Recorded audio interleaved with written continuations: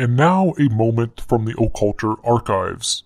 Episode 2 G. Edward Griffin in The Creature from Jekyll Island.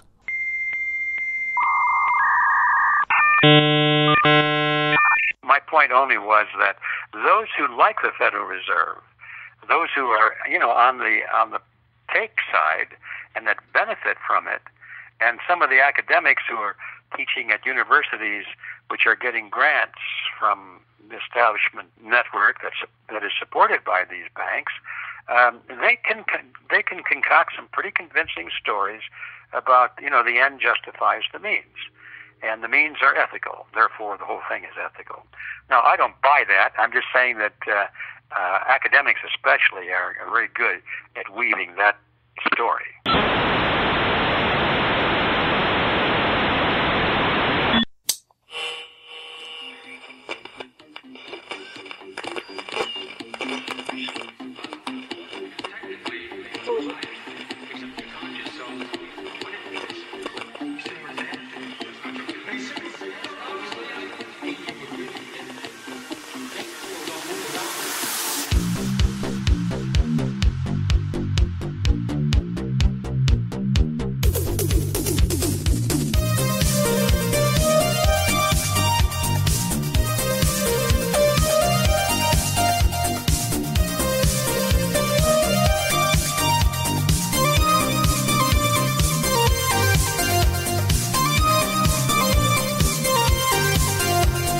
Hey, yo, from the Kingdom of Ohio, you are listening to O Occulture, where the only hash algorithm we completely comprehend is the one called hashish.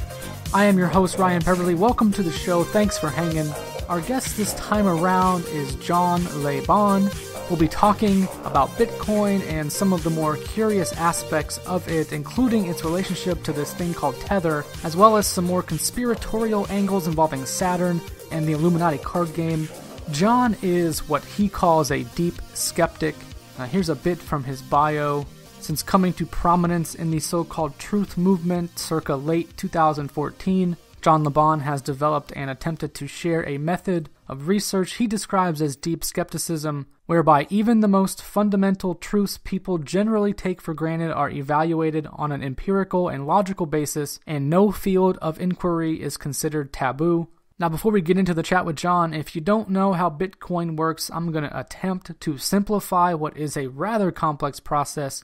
So, what I'm about to say may not even be accurate, but as I understand it, and I'm definitely standing under it at this point, these digital coins first have to be discovered. Sort of like how humans mined for gold or other precious metals, only instead of humans doing the labor, it's computers, and instead of unearthing a tangible substance, the computers are discovering these digital coins. And once a new coin is discovered, it gets placed into a block, and then those blocks are placed upon other blocks to create what's known as a blockchain, which is essentially a public record of all Bitcoin transactions. Now, the computers involved in doing this are solving encrypted mathematical equations using specific nodes running Bitcoin software. They also use an advanced cryptography algorithm called SHA-256, which is what is known as a cryptographic hash function.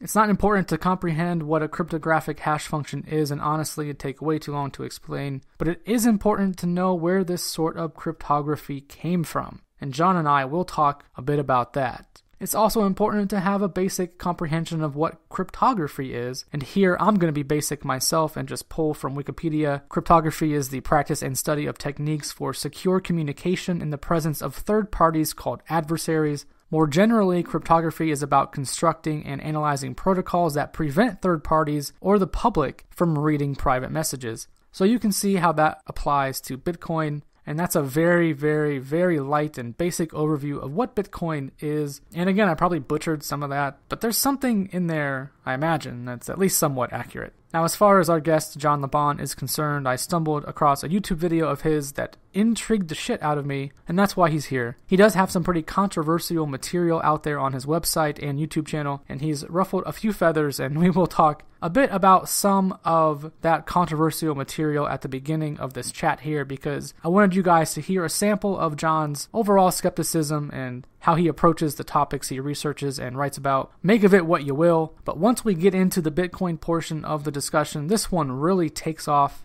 to the moon, some might say. And based on that, I bet you can guess where this pod is casting off to. So let's put on our discernment caps and prepare ourselves for a long, hot, critical think. Enjoy. John le Bon. Thanks for being here, man. It is an absolute pleasure. Thank you very much for the opportunity to speak to yourself and to your audience. I've been looking forward to this all week. Me too, man. Me too, for sure. So, John, before we get into the meat of our discussion here, for those in the audience who are unfamiliar with you and your work, please do give them a, a brief introduction to who you are and what your work focuses on.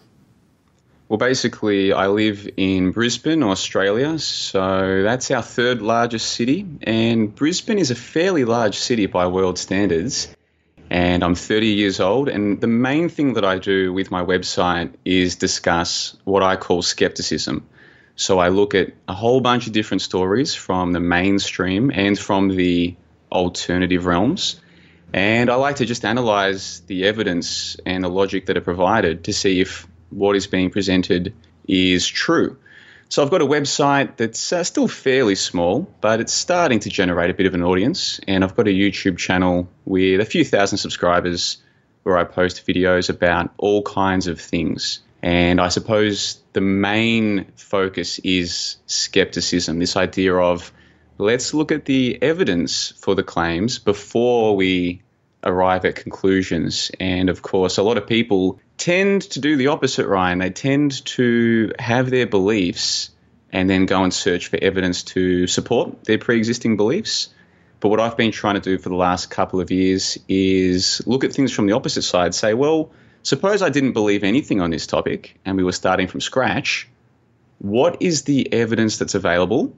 And then once we've collected that, what is the most logical conclusion based on the evidence. And so, as you know, I've been covering Bitcoin lately because that's been in the news. But over the last few years, I've looked at everything from that flat Earth thing that happened a couple of years ago. You might remember in 2015, that one took off. So I looked at flat Earth versus heliocentrism. I've looked at dinosaurs, human evolution, even things like nuclear bombs. You might find this hard to believe, but there are people out there who question if maybe even nuclear bombs are uh, uh, propaganda from the war. So, you know, all of these topics, which are very controversial to a lot of people, to me, it's a case of, well, what do I know? What can I prove? Let's discuss it. And fortunately for me, there's a there seems to be a growing number of people who are happy to explore these things. So that's what I do at the website. And uh, somehow or other, you have seen one of my videos about Bitcoin, and here we are today. Yeah, man, I stumbled across that video uh, not that long ago. I mean, this whole conversation that we're having right now came together fairly quickly in the timeline here. But before we get into Bitcoin, because we're in the, the mood here maybe to be skeptical, give the audience, you know, maybe one of those topics that you just threw out, maybe dinosaurs or nuclear bombs or something. Give them a, a little taste of your process and how you view these topics and the sorts of conclusions that you come to. Okay, so let's take an example then. What I'll do is I'll send you the link to that video we were discussing before we went and started recording with Donald Rumsfeld. And it's just a 50 second clip where on a television screen we have a news reporter, an authority figure, speaking with Donald Rumsfeld, who at the time was part of the US government, so another authority figure. These are the kinds of things that authority figures can tell us on our television screens. There was constant discussion about him hiding out in caves, and I think many times the American people have a perception that it's a little hole dug out of a side of a mountain. Oh, no. This is it. This is a fortress. Yes. A complex, multi-tiered, bedrooms and offices on the top, as you can see. Secret exits on the side and, the, and on the bottom cut deep to avoid thermal detection, a ventilation system to allow people to breathe and to carry on. The entrance is large enough to drive trucks and even tanks, even computer systems and telephone systems. It's a very sophisticated operation. Oh, you bet. This is serious business. And, and there's not one of those. There are many of those. So you just saw that. So we've got authority figures telling us about this boogeyman with his boogeyman cave, like a bat cave. And they're telling us these stories And I used to believe these stories, Ryan. I, I used to believe in the things that we're told about the boogeymen and all this kind of stuff. Then, when I realized that they were lying and they were getting away with the lies, I went down that path that I think a lot of people go down, which is what you might call a negative or a conspiratorial path of, hey, you know, they're lying to us and we've got to tell everyone. Whereas now I see that clip as basically just jokers, uh, you know, clowns, clowns or jesters on a TV screen. I think this is all a bit of a joke. So what I've had to do is go back and revisit what evidence was I given for a lot of my beliefs. And it turns out that a lot of my beliefs about war or the technology of war, such as nuclear bombs, or even things as fundamental as dinosaurs, if I was being completely honest, I hadn't actually seen that much evidence with my own eyes. And science is supposed to be about empirical evidence. And empirical, the etymology of the word empirical, comes from the Greek word empirikos, which has to do with what we experience. So, empirical evidence is meant to be that which we've experienced. Now, of course, to take dinosaurs, for example, we can't see a real life dinosaur. That doesn't mean that dinosaurs don't exist. But let's go right back to the start. What evidence do we have about these giant creatures existing and roaming around the earth 60, 65 million years ago? What evidence do we really have? And so that was the attitude that I took maybe two years ago now. And I went right back and I started looking up the scientific papers that describe these dinosaurs and trying to find out how much of the dinosaur remains do they dig up. And then I had to learn about fossils. And a lot of this stuff was all very new to me. And I found myself thinking, you know, I'd spent 27, 28 years fully believing in dinosaurs. But this was the first time I'd actually gone and looked at the primary source evidence. And eventually that led to me taking a little uh, road trip out into the middle of Australia, into our outback, where supposedly several new species of dinosaur had been discovered. And when I looked into the scientific papers that were used to verify these uh, dinosaur discoveries, what I learned was that in one case, they claimed, the, the paleontologists that claimed to have found these dinosaurs had only dug up, by their estimation, 20% of the fossils related to the, to the creature in question. But they were describing it as a new species. So I found myself wondering how could you claim to have 20% of a creature, you know, part of a leg and a couple of teeth, and then say that you've found a whole new species, a whole new genus even?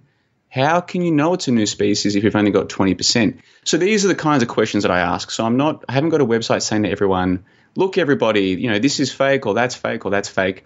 It's more about going through this process of exploring what evidence do we really have? And uh, as I'm sure you know, simply doing that with a lot of people, by simply asking these questions, that's enough to get people, some people, a little bit riled up or a little bit uh, passionate. And then you start to think, gee, a lot of these beliefs, they're almost religious in their nature. If it gets to a question where a layman can't even go and look up the scientific papers and ask questions about them, it almost seems dogmatic. And of course, we were taught at school that uh, religions, you know, the you know the Christians and the Muslims, they're the ones who are dogmatic about their beliefs. But we're you know we're trained in science, and um, you know we just we just look at the evidence. And so that's what I'm trying to do is just look at the evidence and discuss the evidence and go to whatever conclusions might follow. Yeah, I don't see anything inherently wrong with that approach. I think that is the the right approach to to anything to be honest, but you know, you did say that you see, you know, talking about the uh, Rumsfeld clip, for example, you said that you you see this as a bit of a joke, and I'm just wondering. Then, you know, every joke has a punchline. What's the punchline here, then? That's an excellent question, and there are so many different people involved in all of these things. I suppose, from my perspective, it looks like there are different people with different interests. Let's take a look. I mean, you brought up the dinosaurs, and I'm happy to talk about dinosaurs. For a while there, it was my favorite topic. I tend to move on from one topic to the next there's so much to investigate. If I were to ask you, Ryan, what you because you're about the same age as me, I, I, suspect. What is your first memory of dinosaurs? If you were to sort of close your eyes and think, when was I first exposed to these creatures that we call dinosaurs? What do you? Th- I hate to put you on the spot here, but what do you think would be one of your first memories of dinosaurs? I would say it would go back to being, you know, a young schoolboy and either being told about them in a, a, classroom setting or maybe on a field trip to a museum of some sort and seeing the giant skeletal reconstruction of a dinosaur or, or multiple dinosaurs, that would be my first memory of them. You know what one of my first memories would be? It'd be a film called The Land Before Time. Do you remember that one? Oh, yeah, yeah. I don't know when I saw that, though, so it was probably later in my youth that I saw that, but yeah. Well, the banner for my website has about 30 different characters from different films or TV shows or news events, questionable news events. If you look closely, you'll find Petrie and Ducky, the two of the main characters from The Land Before Time. Because for me, this was one of my first exposures to dinosaurs, and I think for a lot of children, this is the case.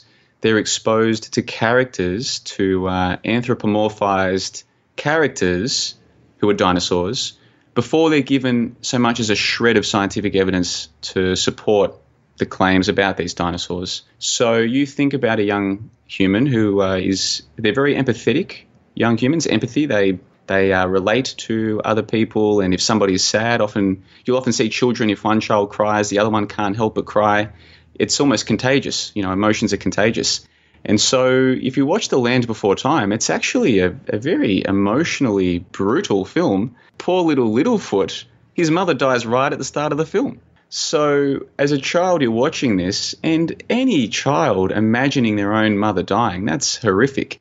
So, they're emotionally invested in this film from the start, and then you've got all the little dinosaurs going through this big trip, this gigantic adventure, looking for the, the place with the good food where all the other dinosaurs are. It's an epic adventure story. And I would suggest that most people our age, I'm about 30 years old, most people our age, we were emotionally investing in dinosaurs well before we saw so much as our first fossil. And so, where I'm going with this is that once we understand that the TV is not necessarily there to tell us the truth, as we saw with our friend Donald Rumsfeld earlier, once we understand that, that things like that Rumsfeld clip, they're not an accident and they're not a coincidence. This seems to be what the TV does. It seems to be its primary function is to tell us stories. What I start to wonder is what function do films like The Land Before Time serve? And if you look into the history of The Land Before Time, that was produced by Steven Spielberg, if I'm not mistaken. And of course, Steven Spielberg also helped create another epic film involving dinosaurs. Can you guess which one I'm talking about? Absolutely, Jurassic Park, which is probably a memory that I have. I probably saw that before I saw The Land Before Time, to be honest. Well, there you go. So you would have seen that one when you were young then and you might have seen it in a perhaps in a cinema. Yeah, definitely. Yeah, so you've got these uh, Dolby surround sound systems with these huge thuds, and as children, you're looking at the big screen, you're taking it all in, you're imagining being there with Jeff Goldblum being chased by a Tyrannosaurus Rex, and even though you know it's just a film, these films have an effect on our emotions and on how we perceive things. That's the whole idea of being in a cinema. It's dark, you've got the big screen, you've got the sounds, and so, what I would suggest is that a lot of us had internalized this belief in dinosaurs well before we saw the evidence for them. And of course, they presented Jurassic Park in a fairly scientific way, or at least they tried to. There was that whole section early on where they showed the experts in their white lab coats extracting the DNA from the mosquito that had been stuck in the tree sap or something like this. So it was all presented very scientifically. But most of us, and this included me up until recently, have never taken the time to go and download and read in our own time a scientific paper from a paleontologist to see what their real process is for determining these new dinosaurs.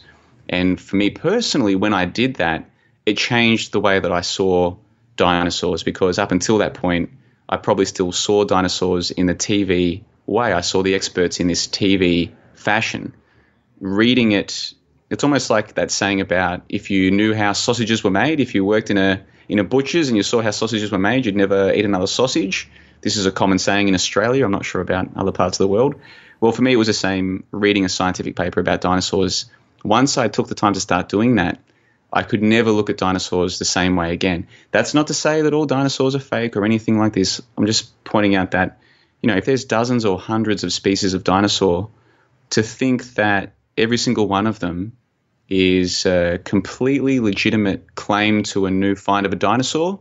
To me now, that seems a little bit, a little bit naive to me now. But I can fully understand someone who has never gone through that process, it'd be very easy to think, oh no, that there's no way there could be any mischief in the in the paleontological fields. It, it has to all be real. But you know, up until up until ten or fifteen years ago, I never would have thought they could lie about a boogeyman having a cave in the Middle East. You know, performing all these horrible things to to people in New York. So that's the that's the tie in there.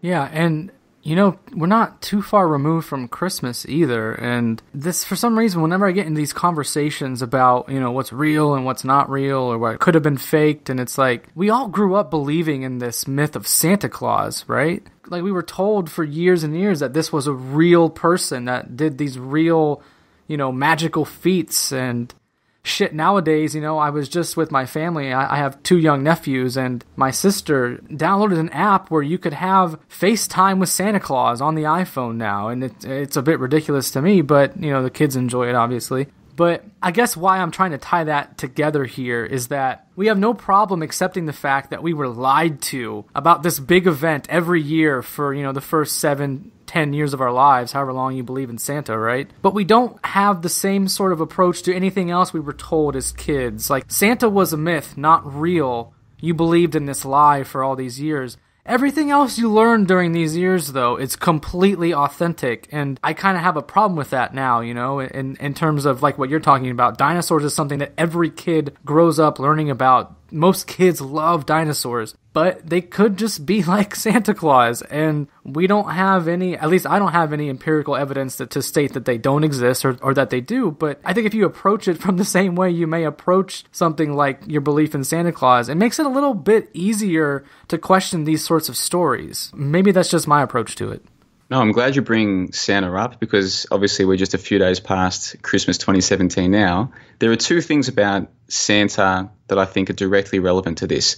The first one is how many people can remember where they were when they found out that Santa wasn't real? I'm going to suggest that for a lot of people, it was a fairly traumatic experience because it was either with other children who knew before you knew and you felt like you'd been left out, you know, and you were defending it, and you would have the other children saying, No, your parents are lying to you. My parents wouldn't lie to me about this.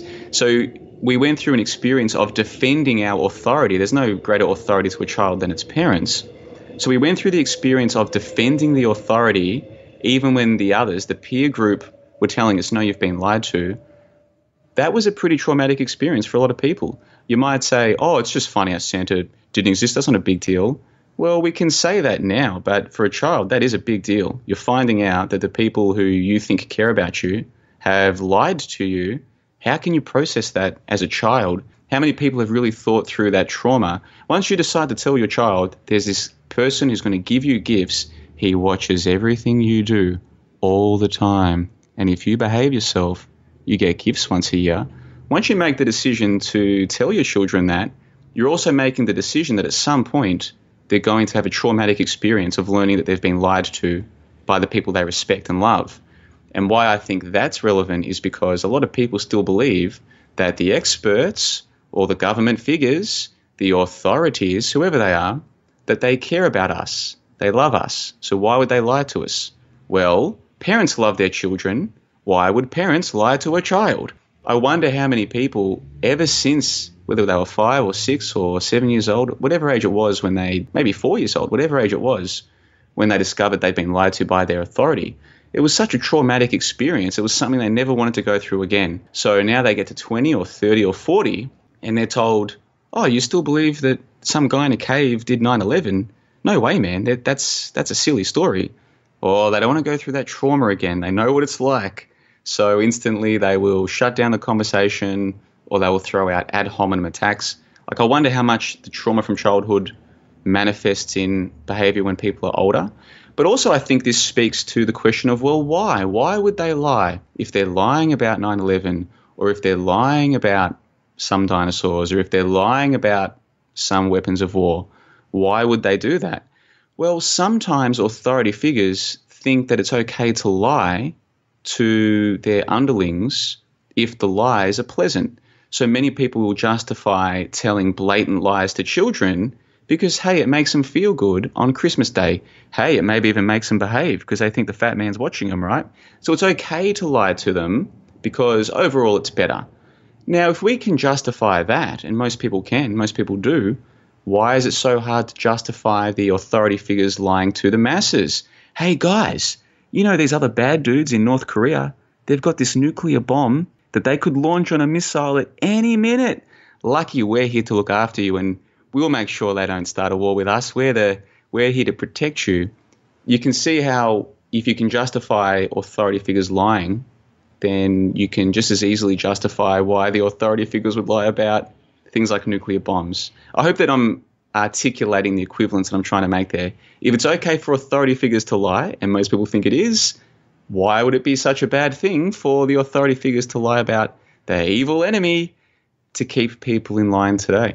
Absolutely, man. And I'm sure that you've been down the North Korea maybe being a uh, controlled state of actors. I don't know if you've been down that path yet, but if you haven't, that's that's a good one. so it's, I don't want That's a good that's a yeah. good one to go down early, isn't it? This idea yeah, yeah. of wait, what? They're putting they're putting the bad man on the TV screen. Yeah, just like Donald Rumsfeld and his boogeyman with a cave with air conditioning. And there's not just one of those boogeyman caves. There's several of those caves, right? If they can get away with that kind of nonsense on the TV screen, why is it so hard to believe that someone like Kim Jong Il could be a, a fake bad guy? And then if you look at the works of people like George Orwell with his book 1984, which he wrote just a few years after World War II, what do we see in that? The exact same thing. People watching their screens, their telescreens, being told, hey, there's a boogeyman, hate the boogeyman. They even have a thing called the two minutes of hate, where they're all hating the boogeyman on the screen. And here we are today, and people have Kim Jong un as their boogeyman or a few years ago, it was Mahmoud Ahmadinejad was the boogeyman. Or if you're uh, if you really hate those damn right wingers, you've got Trump as your boogeyman. So long as you're giving your attention to the screen, to the boogeyman that put on the screen, then you are playing out a narrative that's been there for at least a few generations. Yeah, could not have said that better. So to transition into why we're actually here, I do want to talk about Bitcoin because it is how I discovered your work and it's completely and highly relevant right now. You know, just in terms of the recent market fluctuations, you know, the price fluctuations. So, do you think, John, that you could explain exactly how Bitcoin and the blockchain work in, say, three minutes or less?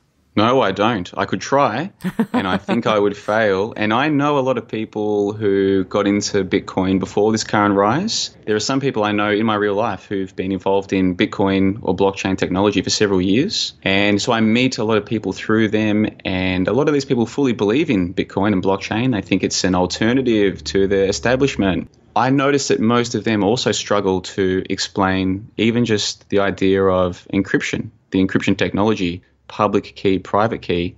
This is one of the things I find most interesting about Bitcoin and blockchain, Ryan, is how many people who claim to believe in it still can't really explain it without directing you to a video or to an article. Well, here you go, mate. Go and check this out. No, I want, I want you to explain it because I can't. You know, I can try, but even after trying to get my head around it for so long, I probably still couldn't give you a, a satisfactory explanation, even just how the public key, private key hash algorithm works. And the reason why I think this is relevant is because to me, it's another example of how, for the majority of people, a depth of understanding isn't really necessary. So if you look at the Bitcoin subreddits or the Bitcoin talk forums, you'll find a lot of people who fully believe in Bitcoin as a solution, or they're just there because they feel like they're making money speculating on Bitcoin. Whatever draws them there, they're very positive about Bitcoin but I would put to you the majority of them can't really explain the fundamental technology. And I see this as analogous to most of what happens in our lives. Without trying to take the topic back to dinosaurs or nuclear bombs or anything, the reality is a lot of us, even though we have strong beliefs, when it comes to a proper technical understanding or explanation, I think most of us, this is certainly true for me, are going to, to struggle. Now, if you want me, Ryan, to do my best explanation of the of the blockchain technology, I'll do my best, but hopefully with that caveat explained, people will forgive me if I if this isn't the most uh, cogent of explanations. Basically, to me, I think it works like this: if many people around the world have a hard drive on their computer that is constantly keeping track of all of the transactions that are being made, then you have a seemingly decentralized record keeping system. So if the record says that I sent some money to you or some tokens to you, so long as there's lots of hard drives around the computer that are keeping track of that transaction, then we have a seemingly decentralized currency. Now, how come only you can access your bitcoins and I can't access them? Because, at least in theory, and I suspect in practice as well, only you have the private key to that particular wallet. The wallet address is public, but only you have the private key. There's a mathematical relationship between those two. But for me to try to guess that, even with the strongest computers, would take years and years and years, if not centuries, if not millennia. So the idea is that in theory, you could crack the private key from the public, but it would take so long that it's not worth it. And that is how the whole system is able to be kept secure.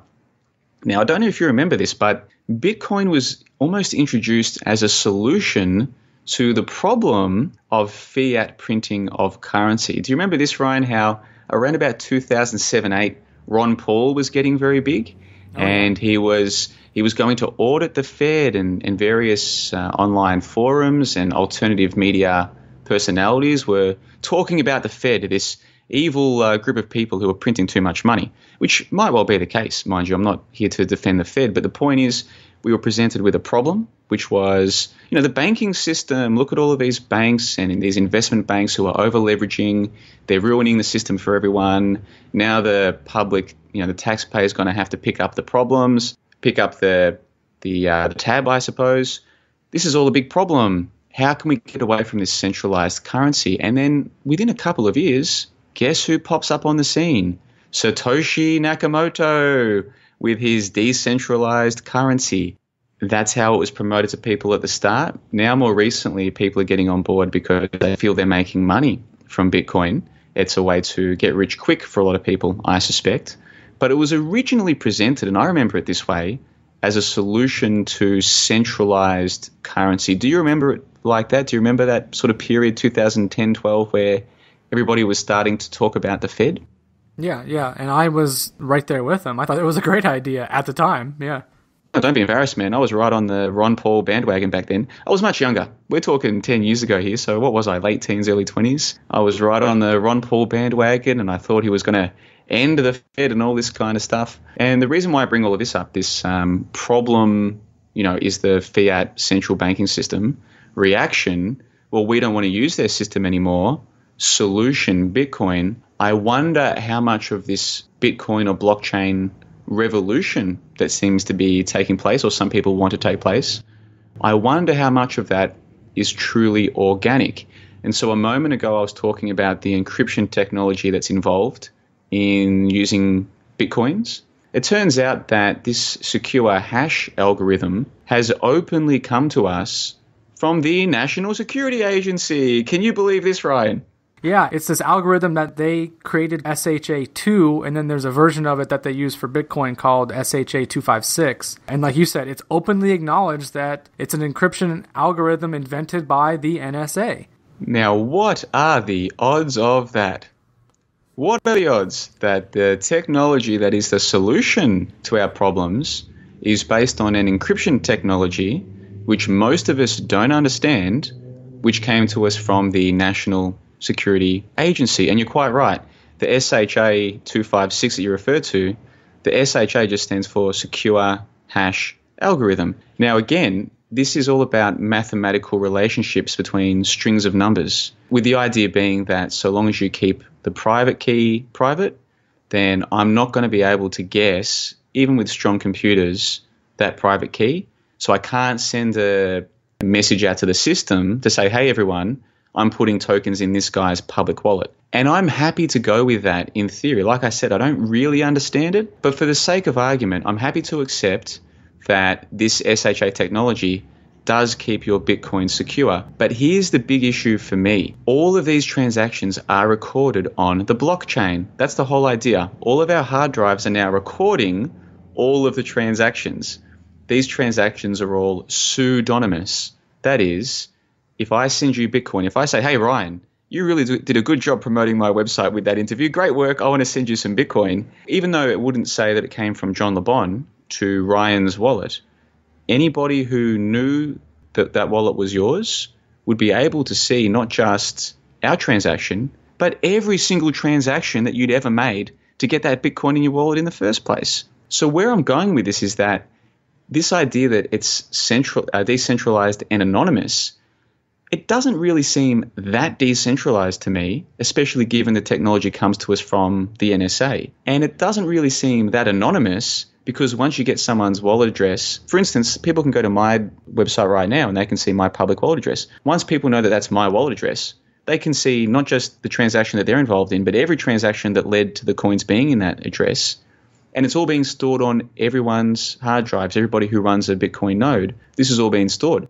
So to cut to the chase, what I'm now starting to wonder about here, Ryan, is is this blockchain technology really a solution to the problem? Or is it almost like a Trojan horse rollout of the digital currency, which people were warning us about for decades. Yeah, and when you pair the NSA cryptography algorithm there with the story of Satoshi Nakamoto, who by all accounts doesn't even exist, is not even a real person, we may be looking at a financial and economic trend that, as you said, it's not really that organic. And then I was wondering too if you were familiar with there's more connections when you dig into some of these blockchain companies and some of these Bitcoin buy sell trade operations.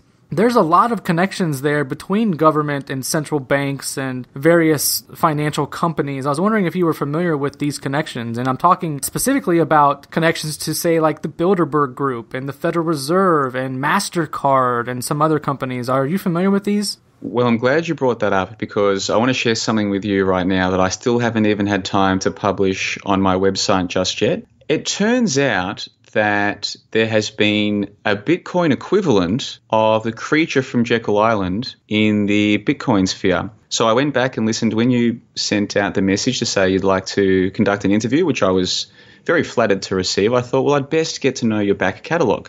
And I saw that you interviewed G. Edward Griffin. Now, as you recall, one of G. Edward Griffin's claims to fame is the book that he wrote concerning the creation of the Federal Reserve Bank. And it's called The Creature from Jekyll Island. His book is called The Creature from Jekyll Island because what happened, according to his analysis, and I'm not here to vouch for or against it, but this is the accepted story, I suppose, is that a whole bunch of wealthy bankers or industrialists or well to do people got together on an island about 100 years ago and created what we now call the Federal Reserve Bank. In other words, a group of influential people decided, hey, we should be in charge of the money. Would you believe that there is a Nakamoto or a Satoshi round table involving the biggest names in Bitcoin, alternative currencies, and media figures? Would you believe that? I would not be surprised by that, no. Yeah, I wasn't surprised either, Sally. We, are getting a bit cynical, you and I, unfortunately, but I only discovered this relatively recently. And like I said, some of the biggest names, they get together once per year. It's been going on now for three years, I believe. And the person who first got the ball rolling with all of this is a character who is on the board for the Bitcoin Foundation. This, this particular character is an openly acknowledged Freemason. He has YouTube videos talking about the craft. Now, what are the odds of all of this? Well, who is the guy? Okay, so the gentleman's name is Bruce Fenton, and I should make it clear that I'm not necessarily suggesting that anything nefarious is taking place at these Nakamoto roundtables. And to their credit, this is something that they've publicized on, say, Bitcoin Talk forums. So it's not necessarily a secret. They say that they employ Chatham House rules, which of course means that anything that is discussed there the participants are allowed to discuss it freely with others outside of the roundtable, just without any direct reference to the names of the people where they source the information. So it's not necessarily secretive, but neither is the Bilderberg Group. Neither really is the creation of the Federal Reserve. I mean, you were able to speak to G. Edward Griffin freely. No one stopped you from having that conversation and having that podcast. So it seems to me a lot of the time this information is out there. It's just a matter of connecting the dots. And I do wonder how many people who still hold on to this idea of, oh, Bitcoin is a solution to the problem. I wonder how many of them would still believe it if they came to learn that there is a Nakamoto roundtable with all the biggest names of Bitcoin, selective invite, run by a person who is an avowed and openly admitted Freemason, if they knew that the blockchain technology or the encryption technology that Bitcoin is based on comes straight from the NSA, if they realized that the public ledger, the blockchain, is recording all transactions for all time, and once you get one wallet address, you've got access to everyone's address. I wonder how many people would still hold on to this idea that Bitcoin is some kind of genuine organic solution to the problem. Okay, so two things there. Bruce Fenton is a name that rings a bell to me. I have heard him on some other podcasts talking about sort of lost history type of stuff. Is that is that the same guy? I'm not sure if it is the same person. I wish I could confirm that for you. I'm not too sure. Is it Fenton F E N T O N? Is that who you're talking about? Yeah, Bruce B R U C E okay. Fenton F E N T O N, yeah, and he's got a YouTube channel. And I can even send you a link if you want to put this in your show notes. People can go and check out his channel. He's had his YouTube channel now for years and years and years. So I had to dig back through his older videos to find all of these. But I've got literally half a dozen videos that he made a few years ago where he talks about what is Freemasonry, uh, Freemasonry misconceptions, and the truth about Freemasons, Freemasonry Society with secrets, not a secret society. These are just some of the titles of his videos. And it's definitely the same Bruce Fenton who's involved in the Bitcoin Foundation because you can just cross check his appearance. It's, it's the same character. Now, we see the character that's involved in alternative history? That I'm not too sure about. Yeah, I just pulled up his YouTube channel and it doesn't seem like the same guy that I'm talking about. So, my bad to the other Bruce Fenton out there. I'm not trying to throw you under the bus here. But uh, yeah, okay. So yeah, this this channel that I do have up now, uh, it is pretty much all about Bitcoin. So it's definitely the guy that you're talking about. So definitely the same guy. Yeah, and again, I have to make this clear. I mean, I'm not personally a Freemason. I don't know any Freemasons. There's none in my family, as far as I'm aware. But I'm not one of those people who necessarily assumes that Freemasonry is bad or evil or nefarious. I'm open minded to that explanation, but I know so little about it that I'm not I'm not going to cast aspersions on it. And I actually took the time to watch all of his Freemasonry videos to see what I could pick up from it. And the way that he explains it actually seems relatively benevolent. And again, I'm not here to defend Freemasonry or, or anything like this, but I'm not suggesting he's a Freemason therefore the, the Nakamoto Roundtable is a secret cabal or anything like that. But I do think it's a connection that a lot of people who would otherwise try and argue about the virtues and the non-government or the non-establishment involvement in Bitcoin, if they knew about these kind of connections, I think they might at least reconsider where they got this idea that Bitcoin was some kind of organic, you know, non-authority response to the uh, to the financial crisis.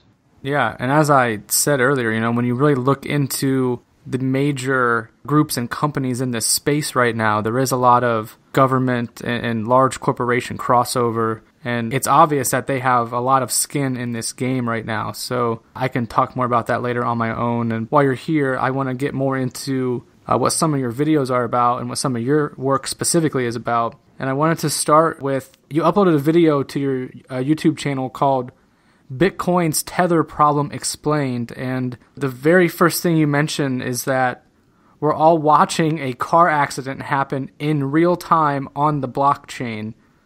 Uh, that's a quite a provocative statement there. So I wanted to look under the hood of this car for a moment and examine what it is about it that may cause this crash. And the prime candidate here is this thing called Tether, which I don't think a lot of people would be familiar with. So I was just wondering if you could explain what Tether is and how it relates to Bitcoin exactly. Yeah, so very basically, if you imagine that the stock market is a place where people go to buy and sell shares in companies, and the Federal Reserve or the central monetary institution of the country are the people who control the money supply. You can see why it's very important that those two things are kept as separate as possible because the more money in circulation, the more money that can find its way to the stock market. There's a direct relationship between the amount of money in circulation and the prices and the future prices of stocks. Well, in the world of Bitcoin, in the world of cryptocurrency, the same organization is both responsible for the money supply and for the largest exchange. And this is going to sound very hard to believe. And when I discovered it, I found it hard to believe, which is why I investigated and then I released those videos that you're now referring to. There's a company called Bitfinex. Bitfinex is, by their claim, the largest Bitcoin exchange in the world today. So, as of the end of 2017, the highest volume or the largest volume of Bitcoins that are traded between people or between robots, depending, we can talk about that in a moment, but the largest volume of trading is done at Bitfinex. However, Bitfinex don't trade Bitcoin for US dollars. So, for those of you who haven't used a Bitcoin exchange before, here's how it works. Suppose you want to buy $100 worth of Bitcoin. You would go to an online exchange, you would put in your details, you would send through 100 of your dollars, your real dollars, if we can call fiat money real dollars for the sake of argument. You would send 100 real dollars to the to the account and then on the exchange, you would purchase $100 of Bitcoin from somebody else on the exchange who is selling. So the idea of the exchange is perfectly normal, makes perfect sense. And then on the same exchange, you might sell your $100 worth of Bitcoin later, either for a profit or for a loss, or you might move your own Bitcoin from a different transaction onto the exchange. The idea of the exchange is fine, and Bitfinex is such an exchange, but they don't actually accept US dollars what they accept is a thing called tether coins. Tether coins are a different kind of cryptocurrency, what you might call a cryptocurrency. It's a digital token. These tether digital tokens are used at one to one for American dollars, and this is their claim. The company called Tether claim that for every dollar that you give them, they'll give you a tether which is backed by US dollars at one to one. So this makes sense in theory. This particular exchange doesn't want to use US dollars because of regulation requirements or what have you, but they'll accept tethers, which are the same thing.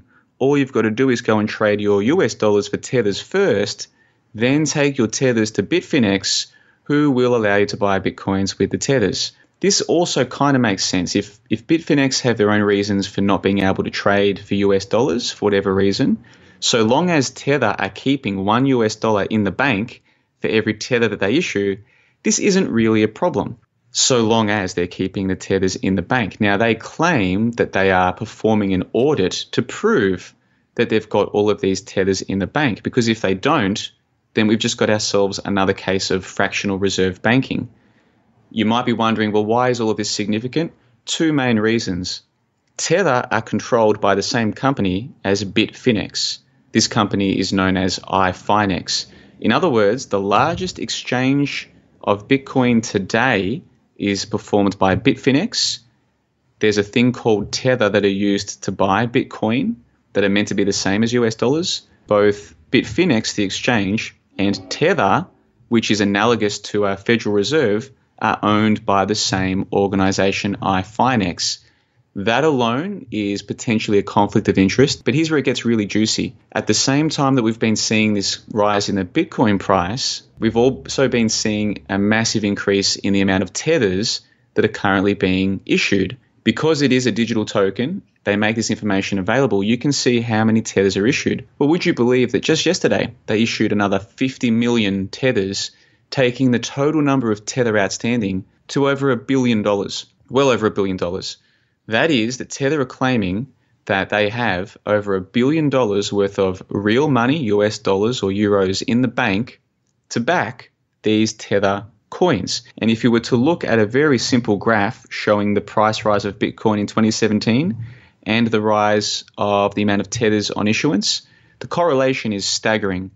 Now, correlation doesn't equal causation it could very well be that there are these institutional investors pouring into Bitcoin, or that finally the, the regular people are investing in Bitcoin. And to, a re- to some extent, I think this might be true. But I also think it's possible that there is a relationship between the rise of the Bitcoin price and tethers. As I said, Tether have not issued an audit to prove that they've got the money in the bank to support the tethers that are outstanding.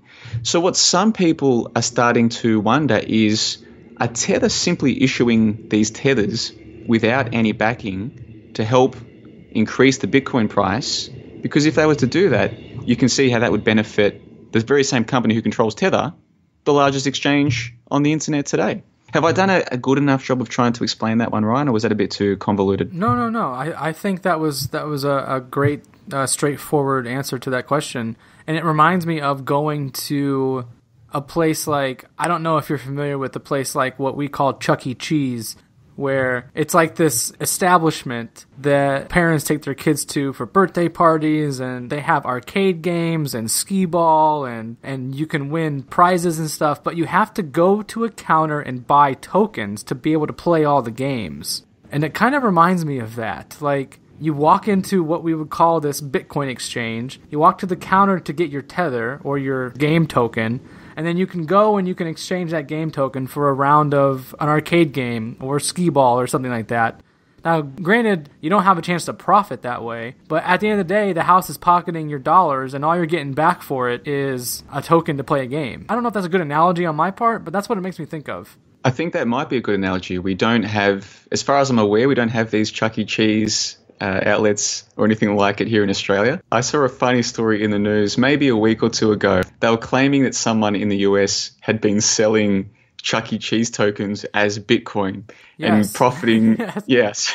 Yeah, that's so why I, I made the reference because I, I had just saw that story too.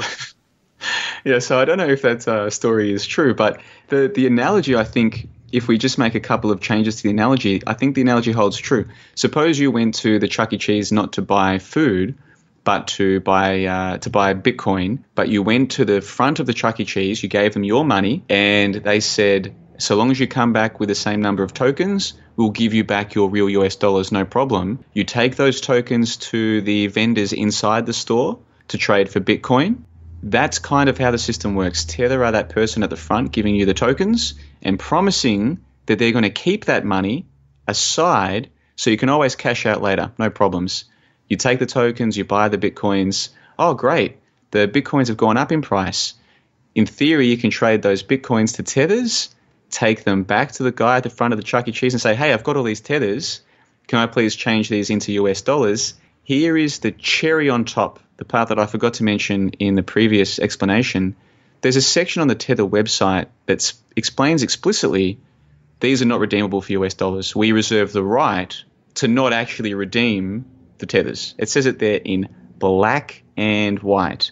They don't actually have to redeem the tokens. Now, even if they claimed that they would redeem the tokens in all situations, it doesn't mean they have to. Companies come into existence and disappear all the time, especially in the Bitcoin realm. But these guys aren't even pretending that you will get that those tokens back. They're saying in black and white, you come back to the front of the Chuck E. Cheese store with the tokens, we don't really have to convert those back to US dollars. So, why is this significant to the entire cryptocurrency realm? Well, in theory, you've got this company who can issue as many tethers as they want. They claim that they're getting audited, but we never see the audit. And in the meantime, people real people are putting money into the Bitcoin economy because prices are going up and all these kinds of things. In a rising market, there's no issue. But should there ever be a serious and longer term correction in the market, more than just a day, say a week or a couple of weeks, if people try to liquidate their Bitcoin, it's not altogether clear that there's going to be enough money there for people to get their money out. And so it's possible, I'm suggesting it's possible that the current price of Bitcoin, what is it now, $15,000 US, something like this. By the time this is published, it might have gone up or down significantly. But this massive price rise that we've seen in 2017, I think it might all be based on funny money. And not only that, if the music stops and there's not enough chairs, I think a lot of people might be losing a lot of money. Perhaps enough money, Ryan, to justify the feds getting involved and regulating the whole thing if you can see where I'm going with this. I can see uh, FedCoin becoming a, a real thing for sure. Bingo, I completely agree. Yeah, and the way that we're describing it, it sounds no different than regular fiat currency because if all of us went to our banks and withdrew all of our money at one time, every single person that has a bank account, the banks wouldn't be able to pay out everybody. They don't have that kind of money on hand. So this seems like the same sort of problem. If everybody went to cash out Bitcoin at the same time, they wouldn't be able to get all their money. So I don't yeah. see how it's an answer to central banking when it's the same fucking problem, only digital. And I think the difference is it's very obvious when you talk about the blockchain recording all transactions in a public manner. So if you can envision the future, you know, 15 years down the line when we're all on digital currency and every single financial transaction you make is recorded and public for anybody to see, what kind of stuff are you going to be able to actually spend money on then?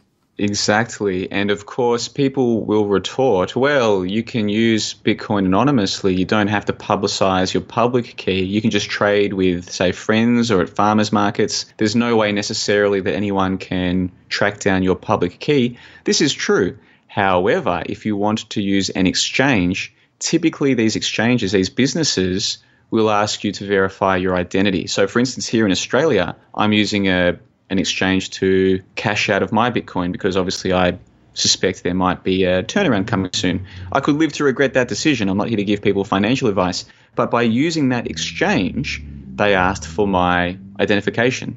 So, you know, the same things that you would expect to have to provide for a lot of other businesses or banks or financial institutions, you have to provide for the exchanges. So, once you have given up that information, then at least one of your public addresses will be known that'll be the address that you use to transfer your Bitcoin into the exchange's wallet to be credited with your real money. So you can see that once they've got that first wallet address, they can trace right back through the history where did those bitcoins come from? Because for a bitcoin to be in a wallet, it has to come from somewhere. And unless you're one of the very few people who are mining these bitcoins, then they're being transferred. You know, for instance, if someone were to pay for a subscription to my website with Bitcoin, for argument's sake, there would be a wallet that would I would use for them to pay into. The bitcoin would come from their wallet. Now, where did they get the Bitcoin from? Maybe they bought it from an exchange. So you can see here that piece by piece, this information can be found. And once it is, Bitcoin goes from being pseudonymous to being a public ledger of not just where you spent your money, but where that money came from. Yeah, and to go back to the the idea of FedCoin, envisioning a, a society where your government currency is digital, at that level, it, they can also control what you can spend it on. Like right now, if you have a dollar bill, you can go out and you can spend that money on whatever you want. It's a dollar bill, everybody accepts it. Well, if I wanted to go out with, say, a digital Fed coin. You know, if let's just use the U.S. here because that's where I'm at, and that's kind of the, the, hub for for all of this. Is if the U.S. moves to a, a digital only currency, then they can restrict where I spend that at.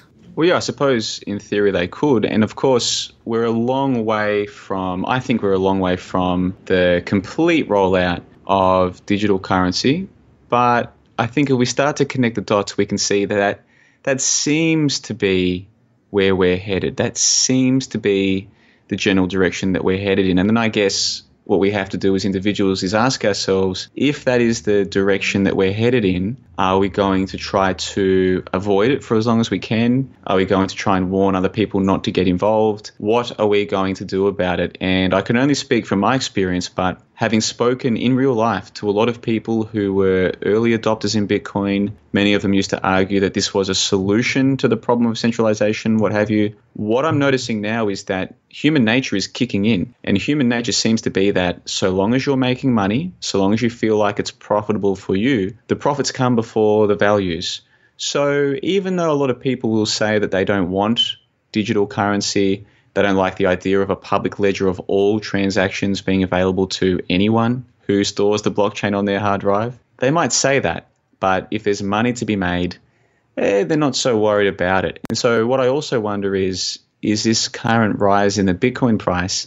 Is this helping to draw people into accepting digital currency? In other words, I would ask your audience to ask themselves hypothetically if you felt that you could triple your money by investing in Bitcoin tomorrow, for argument's sake, if you if you believed that and it turned out to be true that in 12 months' time you had three times more money, would you be so opposed to this Bitcoin rollout? And the reason I ask this hypothetical is because I think this is kind of what's happening. We're seeing a lot of people making a lot of money, at least on paper, accepting this idea of digital currency, and it's seems to me like it might be only a matter of time, whether it's five years or 10 years, a generation, however long it takes, more and more people will just accept, ah, yeah, I guess it is kind of like digital currency, but hey, what's the problem? What's the problem? I think a lot of people will come to accept it for, for better or for worse. Yeah, I would think so too. And going back to the uh, Bitcoin's tether problem, you know, to just tie this back to your first video here. About a week after you published this video, some stories popped up in mainstream media. I think uh, Bloomberg and, and Fortune were writing about this same tether issue that you had publicized on your website and your YouTube channel like a week before that. That's a pretty interesting coincidence. It is an interesting coincidence. I have to be fully frank here. I wasn't the first person to uh, notice that Tether had been issuing all of these tethers out of nowhere. And I, I, probably should have tried to illustrate this better for the listeners earlier. If you imagine a hockey stick, you know that hockey stick graph that we're given about you know carbon levels in the atmosphere or um, you know global temperatures. You can imagine a hockey stick graph, right? Well, with tethers, that's what we've got. They were only up to about 10 million tethers, $10 million worth of tethers on issue at the start of 2017, so 12 months ago, about 10 million. And that was after operating for a couple of years as a company. And then a few months ago, it just started to go hockey stick style. And that's how we've gotten to a billion, over a billion. And I wasn't the first to notice that the graph had gone hockey stick. There was a Twitterer who was talking about it. So I looked into it further and then I found some connections that even he wasn't talking about. And then I went down that uh, little rabbit hole, if you like. But certainly not many people were talking about it. And then all of a sudden, the mainstream press did start talking about it. And this was when there was probably still only about 700 million tethers on issue. So in just the last month or two, it's gone up to well over a billion tethers on issue. No end in sight. Like I said, another 50 million just last night, Australian time. So that's yesterday, American time for you guys. I wonder if they're almost planting the seeds, if you get what I mean. So, hey, we were talking about this tether problem. People didn't listen once the music stops and nobody's got a chair to sit on and there's tears everywhere, ah, well, people wouldn't listen when the news told them about the tether problem. We're going to need some regulation. I don't see a a way how it would not be regulated at some point. Nothing that we do in this life, John, is without regulation or restriction or tax or any sort of law. So I think crypto, uh, I mean, just looking at the people involved in it behind the scenes, like we talked about several minutes ago, I mean, it's going to be regulated and, and it's going to benefit the people who are behind the scenes of it. So I think you just have to accept that. It's not this godsend that's going to break the shackles of your debt enslavements. It's probably just the opposite, to be honest honest. So, well, let me make a nice little segue for you. I understand that the video that you first saw from my channel also mentions Illuminati card games.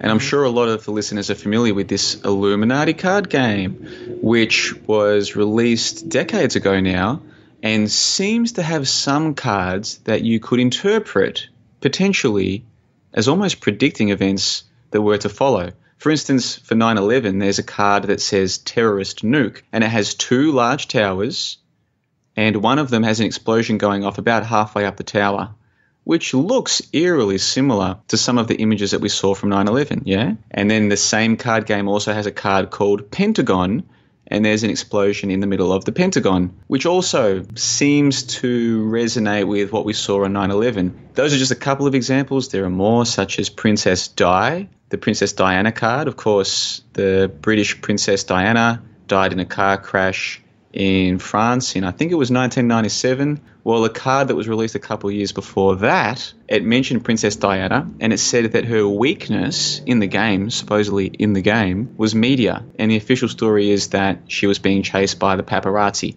So these could all just be coincidences, but they're certainly interesting. And there's an Illuminati card called Digital Currency. And let me read out to you what it says. And this is on the card game, guys. It says, Our new banking technology lets us steal faster than ever before. Now, isn't that interesting? An Illuminati card game that's talking about digital currency, a new banking technology that lets us steal faster than ever before. Get this. I told you about how Bitfinex is the largest exchange on the internet today by trade volume. Last year, they claimed to have been hacked and you know how they solved this problem of being hacked and having Bitcoin stolen? They took a haircut from their customers. They took approximately one third of the value of every customer's account and said, we're going to use that to cover the shortfall. So we, pretend I'm Bitfinex, we're the exchange that's been hacked. And uh, the hackers got a lot of money. Terrible, terrible thing. But we've come up with a solution, guys. We're going to take about a third from every single one of you, and uh, then we're going to pretend this never happened. Now, that that is actually what happened. What I just told you is not a conspiracy theory or anything. That's that's actually what happened with Bitfinex last year, and you would think that that would be enough to make customers leave, go somewhere else. But as I've said, Bitfinex is officially today the largest exchange, the largest Bitcoin exchange. So it's interesting, isn't it? You've got this, Illumin- this Illuminati card game released by Steve Jackson Games, the same company who released the Illuminati card game to do with, like I said, cards that seem similar to 9/11, Princess Di, all these things. And there's a card called Digital Currency.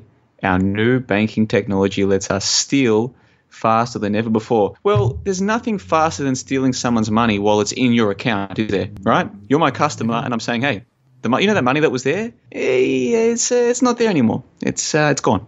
It's all gone.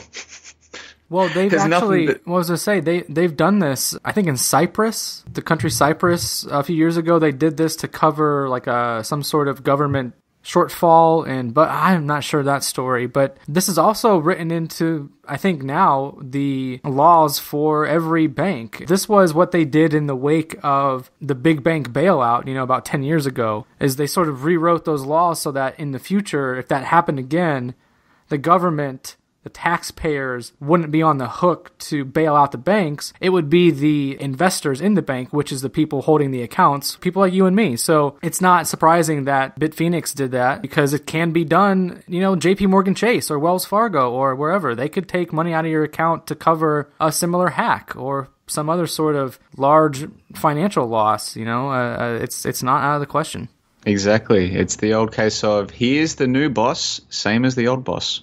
Absolutely, man. And you brought up the Illuminati card game. I want to talk more about that, but I have some other Bitcoin notes here that I'd like to talk about first, if you don't mind. There's a, a French writer named Gustave Le Bon, who I know that you're fond of. You share a, uh, a last name with him. Not related, by the way. But he was uh, popular for being the father of crowd psychology. This is a pretty, I think, astute analysis of, of the psychological differences that develop in people when they gather in groups. And we can touch on that in a minute if you'd like. But LeBon also had this analysis of the internet and how something like Bitcoin or Tether would impact the world. And he died in 1931, by the way. So this is many, many years before what we know of the internet. What did Gustav say exactly, John, and why is it relevant here?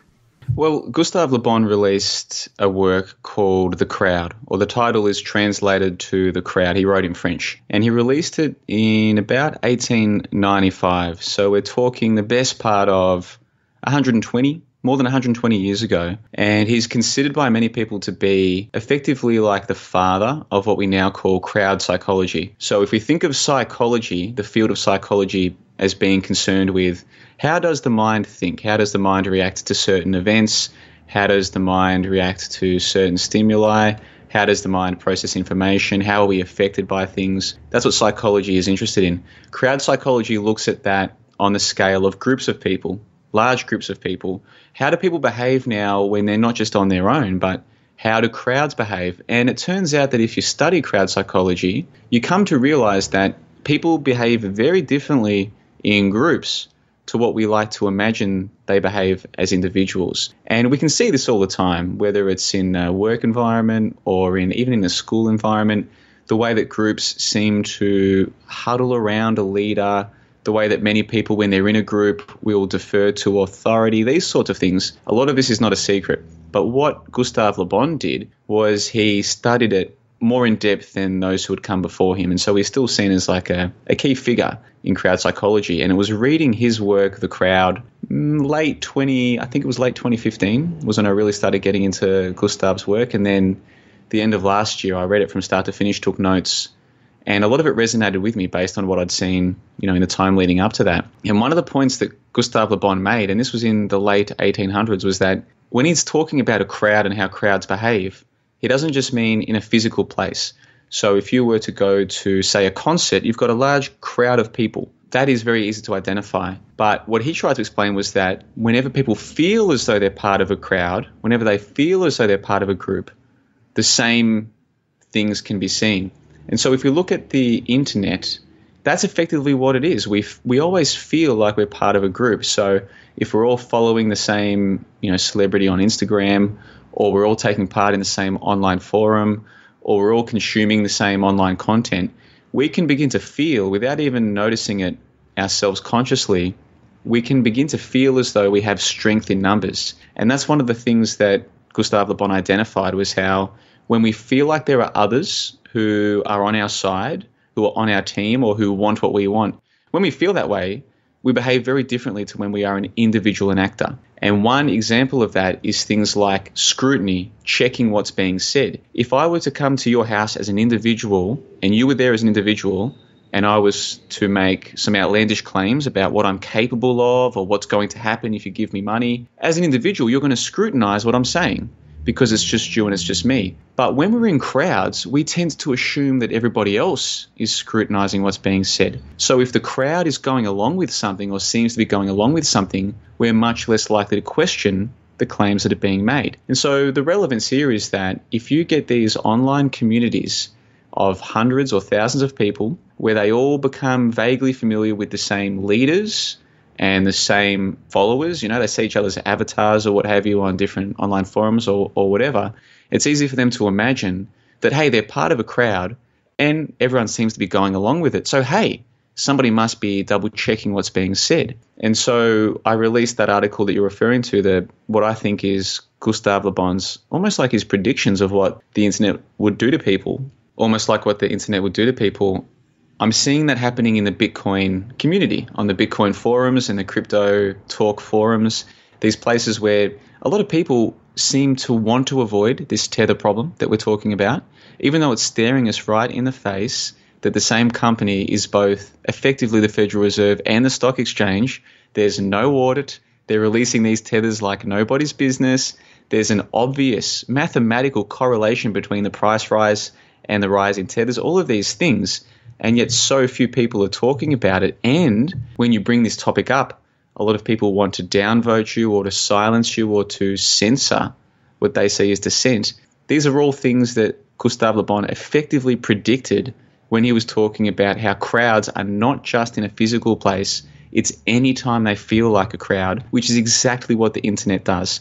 So even though I might never have met the hundreds of people on the Bitcoin subreddit, hey, we're all invested in Bitcoin, we all believe in Bitcoin, we all know the same names of the big YouTubers in Bitcoin. We're functioning like a crowd and we're all assuming that A, somebody else is double checking what's going on, and B, if nobody else is sounding the alarm, or if almost nobody is sounding the alarm, there must be nothing to worry about. And that was the analogy that I was making. And again, Gustave Le Bon, reading his work, understanding that humans are different in crowds or perceived crowds to what they are as individuals, that was a huge turning point for me in trying to understand how can so many people just go along with what they're being told when it's obvious that they're being lied to.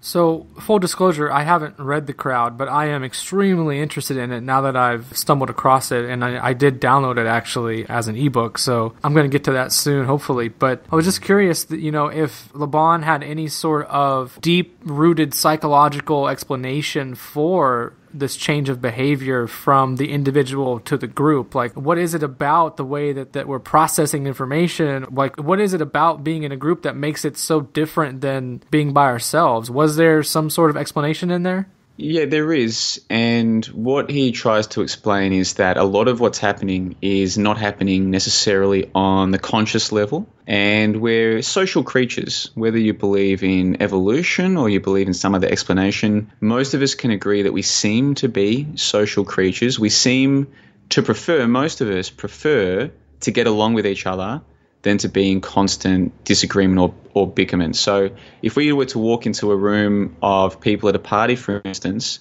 and identify that they're all talking about one particular topic, most people generally, if they feel as though trying to change a subject is going to cause angst, they'll generally wait. Okay, now this isn't always true, but generally as humans, we prefer to go along than to cause disagreements. And so people who believe in evolution will be able to argue that we evolved to be this way, that the people who were always causing problems were either ostracized or killed or what have you.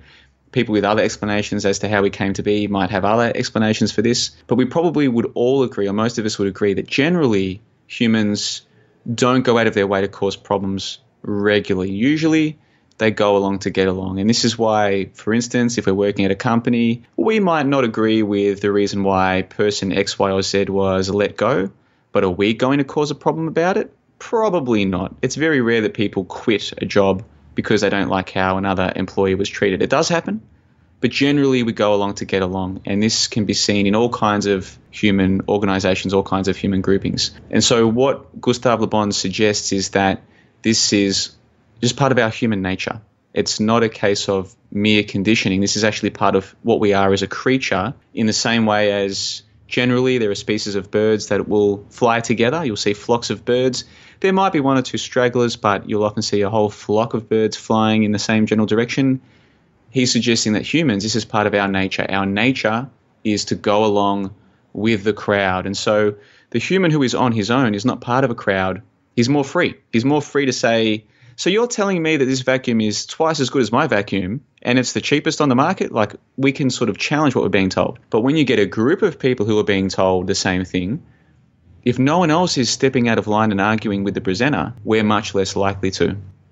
And I myself have experienced this. I'll give you an example. You might be familiar with the Zeitgeist group, who uh, Oh, they yeah, released yeah. a yeah, this is um, is it Peter Joseph released this film called Zeitgeist back in about 2007, I think. And there's now a thing called the Zeitgeist movement. You're familiar with all of this? Yeah. Yeah, and so they had their World Z Day, they call it, in Brisbane this year. And because I run my own little micro media website, as I call it, where I write articles and podcasts and videos and these kinds of things, I thought I'd go along and cover the two day event. And I wanted to ask Peter Joseph a question about his claims concerning 9 11 because 9 11 is a very important topic for me. I think when it comes to trying to lift the veil on how this world works, 9 11 is a very useful starting point. And what I found was that in this crowd of, it might have been maybe 150 people when it came time for questions and answers. I can't, I can't really describe it, but as someone who generally considers himself confident enough to ask questions that might not be necessarily the most comfortable questions to ask. I wasn't planning to ask him anything like a gotcha question. I just wanted to ask him something that I could tell maybe some of his own audience. And they were all, you should have seen them. They were, many of these people were infatuated with Peter Joseph. You know, he's come all the way to Brisbane to be part of our, uh, our weekend. You know, they, a lot of these people really look up to him like a leader.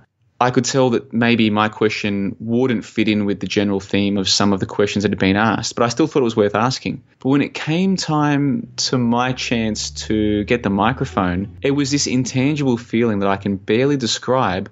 I felt this pressure. And again, it was intangible. No one was touching me, no one was doing anything. I was free to do whatever I wanted. It's hard to describe, but I, I felt like I didn't want to ask my question anymore. I didn't want to cause I didn't want to even potentially cause a problem. I didn't even want to potentially make the audience or the other people who were there feel uncomfortable. Not because I was scared of them, not because they were intimidating me. I can't describe it to you, to be perfectly honest, Ryan. I, I can't describe it. And I think a lot of people will be able to relate to this experience of there was a time when they wanted to do something or they didn't want to do something, but in the moment, among the crowd, there was this feeling that they couldn't describe that led to them going along with the group.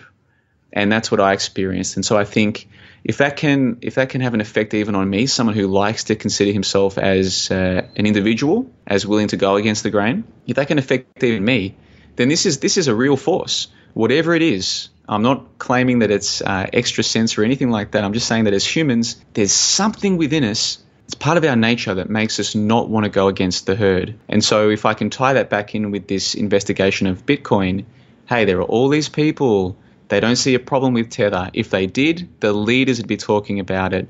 The leaders aren't talking about it. There's no problem here, guys. Forget about it. Let's just keep enjoying the, the price rises and, and not worrying about it.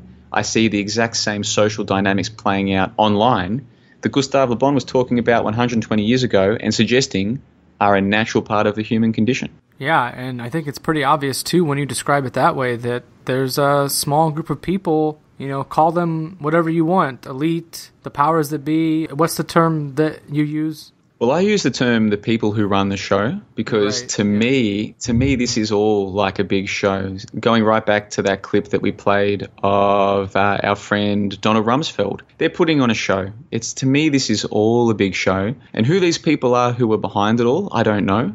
You know, I have some suspicions, and I'm open-minded to certain theories, but ultimately, I don't know who is. Uh, I don't know who's behind all of this. So I just call them the people who run the show. Yeah, and I think it's obvious too that, that this group of people, whoever they are, you know, they understand a concept like crowd psychology and obviously use it to their advantage. And uh, it might be a good little segue too. One of the groups of people that gets pegged as being, you know, these this sort of power behind the throne, that the more that I look at them, the more I think they're just probably scapegoats is this Rothschild group, this Rothschild banking family, and they actually are principal owners or co-owners of some sort of this Economist magazine, which is you know pretty big financial magazine, very well respected. And in one of your videos, the the very first one that I came across that made me want to talk to you, you know, there was a, an interesting coincidence in there regarding this magazine maybe even a synchronicity of sorts, you know, when you consider the fact that people like the Rothschilds own part of it. But they published an issue back in 1988 with a cover of a of a phoenix bird sitting on top of a slew of various paper bills from around the world, uh, which were on fire, I think. And there was a, a gold coin sort of adorned to the bird's chest with a headline on the cover of the magazine that read, Get ready for a world currency. And the coin had a date on it that said 2018. You said in your video that this may have been a prediction relating to Bitcoin or to cryptocurrency in general. I would not disagree with that. Makes complete sense. But the most thought provoking aspect of this to me was a symbol on the coin that you related to Saturn. So I was curious if you could take us through that. I know it's not like a long explanation, but the whole Saturn sync, as you called it, with Bitcoin blew my mind a little bit. Okay, so the the image that you're talking about came from the Economist magazine, like you said, and it does have those ties to the Rothschild family. And I found this front cover from the Economist magazine from an edition released in the 1980s. And on the front of it, you've got the Phoenix coin, just like you described and it has that 2018 year as the minting year of the coin. And of course, we're seeing this dramatic rise in the Bitcoin price over the last few months. And as we're heading into 2018, you know, you can't help but notice these coincidences. And I was trying to explain that to me, these are not necessarily anything more than coincidences, but they're at least a good starting point to have a discussion about some of these things. And the part of the coin that stood out to me was on the center, you've got the circle with a line through it which you could interpret as being similar to Saturn. And if you look into Saturn, this idea that there are some people, I mean, this is a common trope that you'll find in the, the alternative or conspiracy sort of realm online this idea that there are people who worship Saturn. I don't know if that's true. I'm not really sure if that is true or not. I'm not, I don't have a strong opinion either way. I'm open minded to it. But there are definitely connections between the hexagon, the hexagram, or the six pointed star, cubes and these geometrical uh, shapes or angles that are involved in triangles. Now, this will sound very obscure to a lot of people, but I think a lot of people also, if they've looked at this, they'll know pretty much what I'm talking about. And so when I noticed that coin with the, the circle and line through it, I thought, well, let's explore this idea of why Saturn is uh, so significant and why its connection to the hexagram and the hexagon are significant. The first point I would make is that if you look at official NASA photographs of Saturn, close up, detailed images of Saturn. On the top of Saturn, there is what appears to be a hexagon, or it looks like a hexagon anyway. That's just what it looks like. And then you've got this hexagram or the six pointed star that many people associate with, for instance, the Star of David or the Israeli flag. And this six pointed star has six points and six triangles and six sides. So you've got three sixes there or 666. And again, at this point, I'm not arguing there's anything more to this than coincidence. I'm going somewhere with this. If you look at a triangle, an equilateral triangle, there are three angles within it, and each of those are 60 degrees. So again, you've got three sixes, or in this case, three 60s. If you put two of them together, you've got six times 60, which is 360. Again, the 360, you can imagine that as three sixes or 360 is just a number of degrees in a circle. Could all be coincidences. When you look at a hexagon, and there's a hexagon within the six pointed star, you only need to add three lines in the middle to form what looks like a cube. And if you take the geometrical shape of a cube, those six sides, and unfold them, it looks like a cross. And it's probably difficult when people are listening to this to imagine it, but with the video, what I was trying to show was that there seems to be an inherent mathematical relationship between the hexagon, the hexagram, the cube.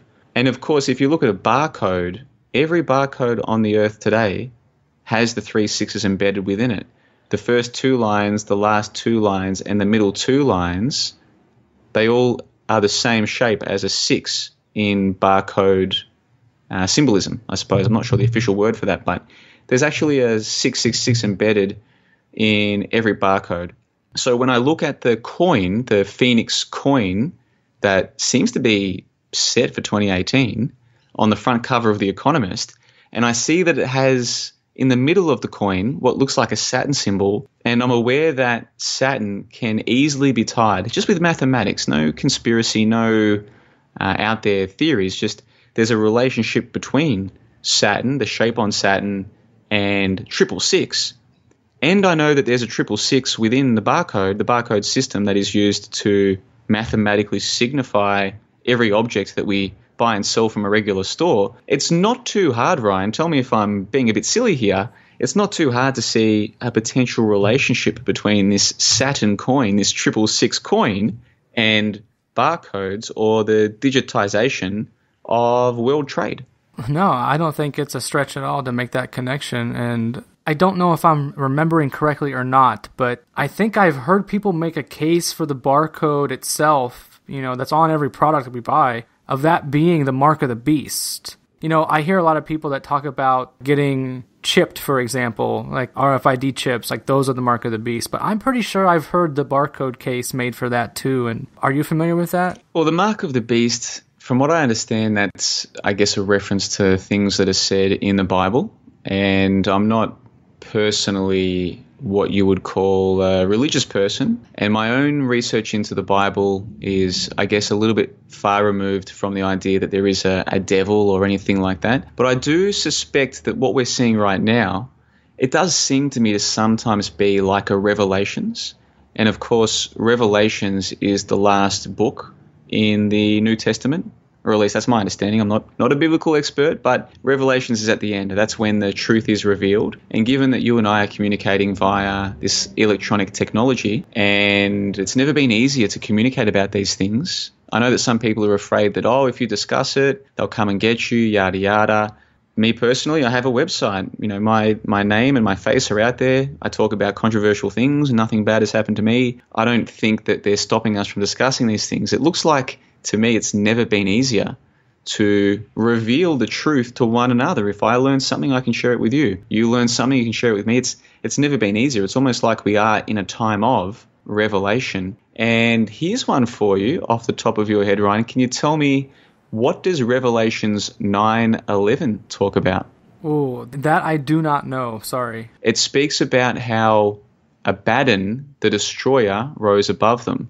And if you look into the history of this Abaddon that they're talking about, there seems to be a direct relationship to Apollo. So if you consider that 9/11, Revelations 9/11 is speaking about Apollo being above them. When we think of Apollo being above us, what do we think of? Well, I think of the sun actually. Really? I reckon a lot of people think of the moon landings the Apollo missions. Oh, yeah. 19... I was thinking of Apollo as the sun god for some reason, but yeah, you're right. I guess Apollo. Yeah, okay.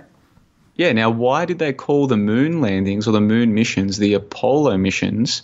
I looked into that. The official story is that one of the people working on the Apollo missions just happened to be reading a book about Greek history or Greek mythology at the time, so when they were trying to think up a name of this moon landings uh, project, he just threw out the idea of Apollo and it stuck and people liked it. That seems to be the official story. I'm a little bit skeptical of that story when you think about the impact that the moon landings had, whether you think they were real or you think they were completely make believe, regardless of what you believe, they've had a tremendous impact on the public imagination about who we are, where we are, where we're going. The idea that they would choose that name by complete chance, I'm open minded to it, but it seems a little bit seems a little bit far fetched to me. Maybe there's some symbolism in the decision. And so the fact that the name that they chose comes specifically or has a specific correlation with Revelations 9 11, to me, if that's just a coincidence, that is an amazing coincidence, isn't it? Yeah, you just opened up two new avenues, I think, that we could explore just for a moment. So to build off this Saturn sync and all this other, you know, I guess coincidence with the Economist magazine. You, know, you mentioned 9/11, and there's a really recent episode of The Big Bang Theory. You know, one of the most popular shows on TV among I don't know who watches it to be honest. I don't know what the age demo is. I know my parents watch it, so take that for what it's worth. But just a few weeks back at the end of November, they released episode 9 of season 11 and it was called the Bitcoin entanglement. What do you find so curious about this particular Big Bang Theory episode, John? Well, as we've just touched on, I do find these 9 and 11s to be interesting. If if for no other reason, then again, I'm looking for them and I'm finding them I'm not claiming necessarily that they're uh, put there or that it's intentional. Even if it's just something that I find interesting, you know, it gives me something to uh, to work off, which is what led to one of those videos. I'll talk about the Big Bang Theory in a moment. Just before I do, the the new international version. I thought I'd look this up while we're talking. I should really memorize this if I want to be anything close to professional. But the new international version of Revelation 9:11 is they had as king over them the angel of the abyss whose name in Hebrew is Abaddon and in Greek is Apollyon, that is the destroyer. That's the passage from Revelation 9:11. So in the New International Version, they even mention Apollyon directly, and they refer to him as the destroyer. And they say that they had as king over them the angel of the abyss. Well, what did they put at the former location of the World Trade Center towers? They put a giant pit, didn't they? Amazing coincidences, mm, aren't they? Yeah. And then when we look at the episode you just referred to of the Big Bang Theory, I'm not personally a, a Big Bang fan, but I'm smarter than to criticize these popular TV shows in public settings because apparently they have many fans, these TV shows with the canned laughter to tell you when to laugh. Isn't that amazing? Canned laughter. Yeah. They've, they're actually telling their own audience, uh, guys, we just made a joke. So uh, laugh along here. Yeah, it's incredible, isn't it? Their episode for, I think it was season 11 episode 9, or I might have got those two around the wrong way. Either way, sure enough, it's called The Bitcoin Entanglement, and that was released just a few weeks ago, right in the middle of this massive surge in the Bitcoin price. And that is not necessarily anything more than a mere coincidence. But one of the things I've come to realize, especially this year, as I've started to open my mind to it more, is that these synchronicities do happen all the time and we get to decide how important they are to us. So once upon a time, I was a lot more. I don't want to say I was more of a believer in scientism, I suppose. This idea that everything is controlled by atoms and it's all cause and effect, and there's nothing more than, you know, the the vibration and reactions of of molecules interacting with each other. That's how I used to see the world. But I've now come to see that when you start looking for these things, these synchronicities are everywhere. And so if you look at The Simpsons, for instance, their season 11, episode 9 episode was a clip show that involved a whole bunch of musical tracks from previous episodes, including the episode concerning the monorail. And of course, on the monorail, what do you see in the background behind people who are dancing in the um, one of the luxurious cabins? You see a tower, a large tower, with smoke swirling out of it, which looks incredibly similar to the Twin Towers on 9 11, except this episode was released a few years before 9 11. So you've got season 11, episode 9. So you've got an, an 11 and a 9 right there. And for no apparent reason, you've got a building that seems to have smoke swirling out of it. Now, that could be 100% just my mind looking for the connections. It could easily just be that. And people who look into synchronicities further, these people who call themselves synchromystics, they tend to be very open about this. They're not claiming that this is proof of an agenda, that anyone's doing this intentionally. It's not necessarily that. It could be entirely in our minds, but it becomes interesting when you get to a point where it feels like everywhere you look, you're seeing the same patterns, whether it's a 9 and 11 or it's the moon landings being referenced in uh, in the Bible or whatever. It seems like these connections are everywhere to be found once you open your mind to the possibility that there are these connections. Yeah, and the last connection I want to touch on here about Bitcoin is you mentioned the moon, and a lot of people in the Bitcoin community use this phrase uh, that Bitcoin is going to the moon, and they use this to describe, I guess, the value or potential value of Bitcoin that it could go to the moon. But again, you know, like the Big Bang Theory's 9 11 connection, uh, going to the moon is, yeah, I think it seems like a bit of a hoax. What do you think, John? Yeah, so you're right. In the Bitcoin community, they talk about going to the moon. They're, they want to hold onto their Bitcoins. Don't sell your Bitcoins. You have to hold them. They uh, they intentionally mispronounced the term hold due to a, I guess, an accidental mistake that someone made a few years ago. So they now pronounce hold as hodl. You have to hodl your Bitcoins because the price is going to go up, the price is going to go to the moon. And there are people out there, and since we're at the end of, of the show, I guess I can be a bit more forthright and state categorically I don't personally believe man went to the moon. I think this is another one of those jokes that they put on the TV. It's funny to me that now in the Bitcoin realm, this is how people refer to success, that they're going to go to the moon. So, those of us who think that going to the moon is a joke, what we're hearing these people say is that Bitcoin is a bit of a joke, this utopian future where the early adopters have all of this money because they never sold their coins. That's all it is. It's just an imagination, a fantasy, no different to the lunar module on the surface of the object that we call the moon.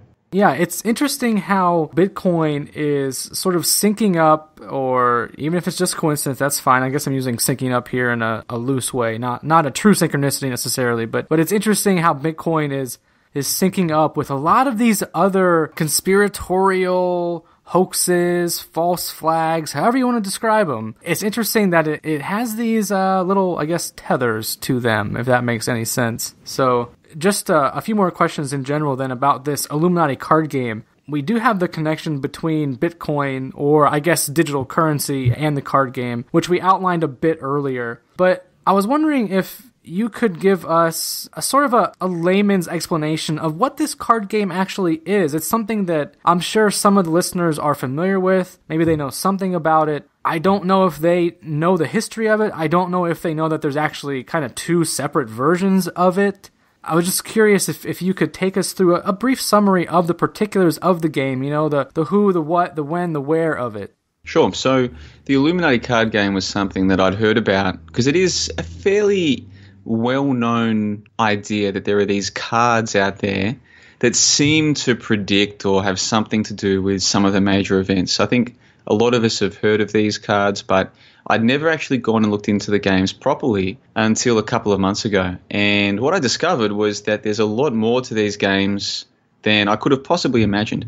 Firstly, there's two games. There was a standalone game that was released in the 1980s, and then the same company that released it, called Steve Jackson Games, released a similar game but a collectible card game version.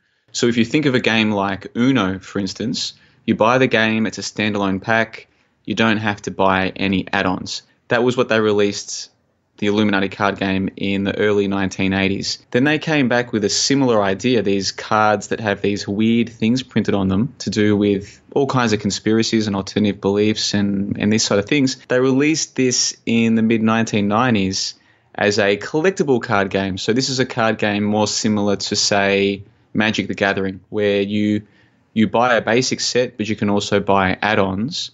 And so you're not just trying to play this game with other people, you're just trying to collect the whole set.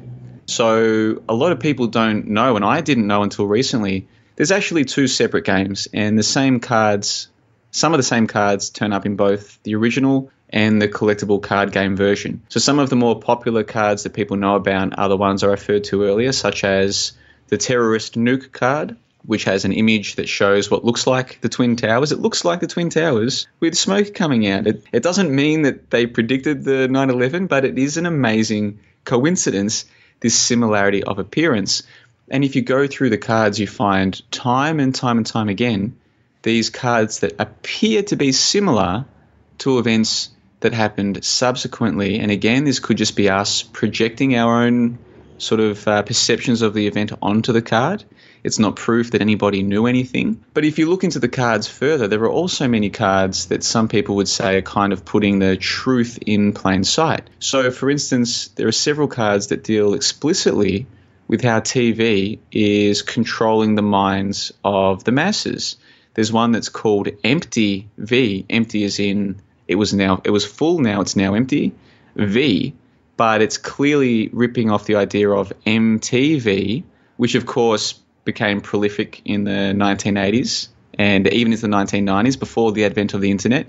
This was still a popular outlet for young people to get their information, to get their ideas. And the image shows young people having their eyes zonked out. So it doesn't really appear to just be a, a mock game.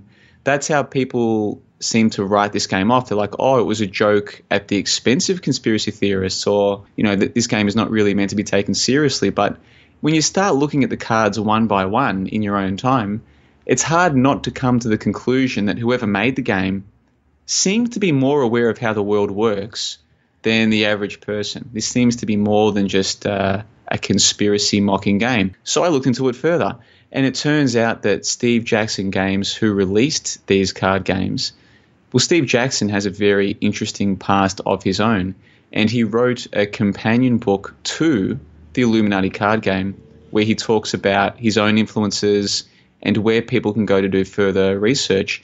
He even provides a bibliography. So there is a, a rather lengthy book that goes with the Illuminati card game made by the person who made the game where he provides a bibliography, essentially a reference list to go and investigate occult topics in your own time. And the main source that he recommends people check out is the Illuminatus trilogy. And I'm willing to bet that a lot of people listening to this right now, they're familiar with the Illuminatus trilogy. This was a series of books that were released that deal with this concept of Discordianism and this idea that there's a lot more happening in the world than what we see at first glance. So if I sort of take a zoom out and, and come back to the start of it here, most of us have seen at least a couple of these Illuminati card games at one point or another.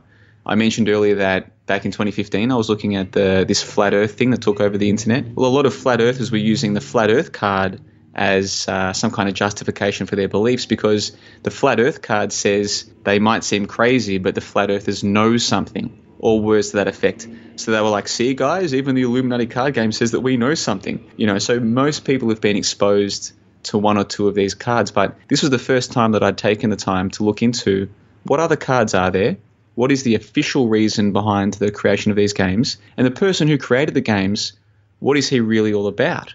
And if you look at the Steve Jackson Games logo, I'm not sure if you noticed this in the series when you were reading through it, but the logo for Steve Jackson Games is effectively an Illuminati pyramid of all things. So I think there's a there's a lot yeah. more to this game than meets the eye, and yet somehow it took me a couple of years to go and investigate it properly. And if I can, I guess, skip forward a little bit, by the time I finished researching and writing up that series that I released on my website, by the end of it, I'd come to the conclusion that, okay, it's a card game. It's a card game. It's just a card game. Okay, but sometimes the easiest way to convey truth to people or concepts that are worth their time, sometimes the best way to do it is not directly.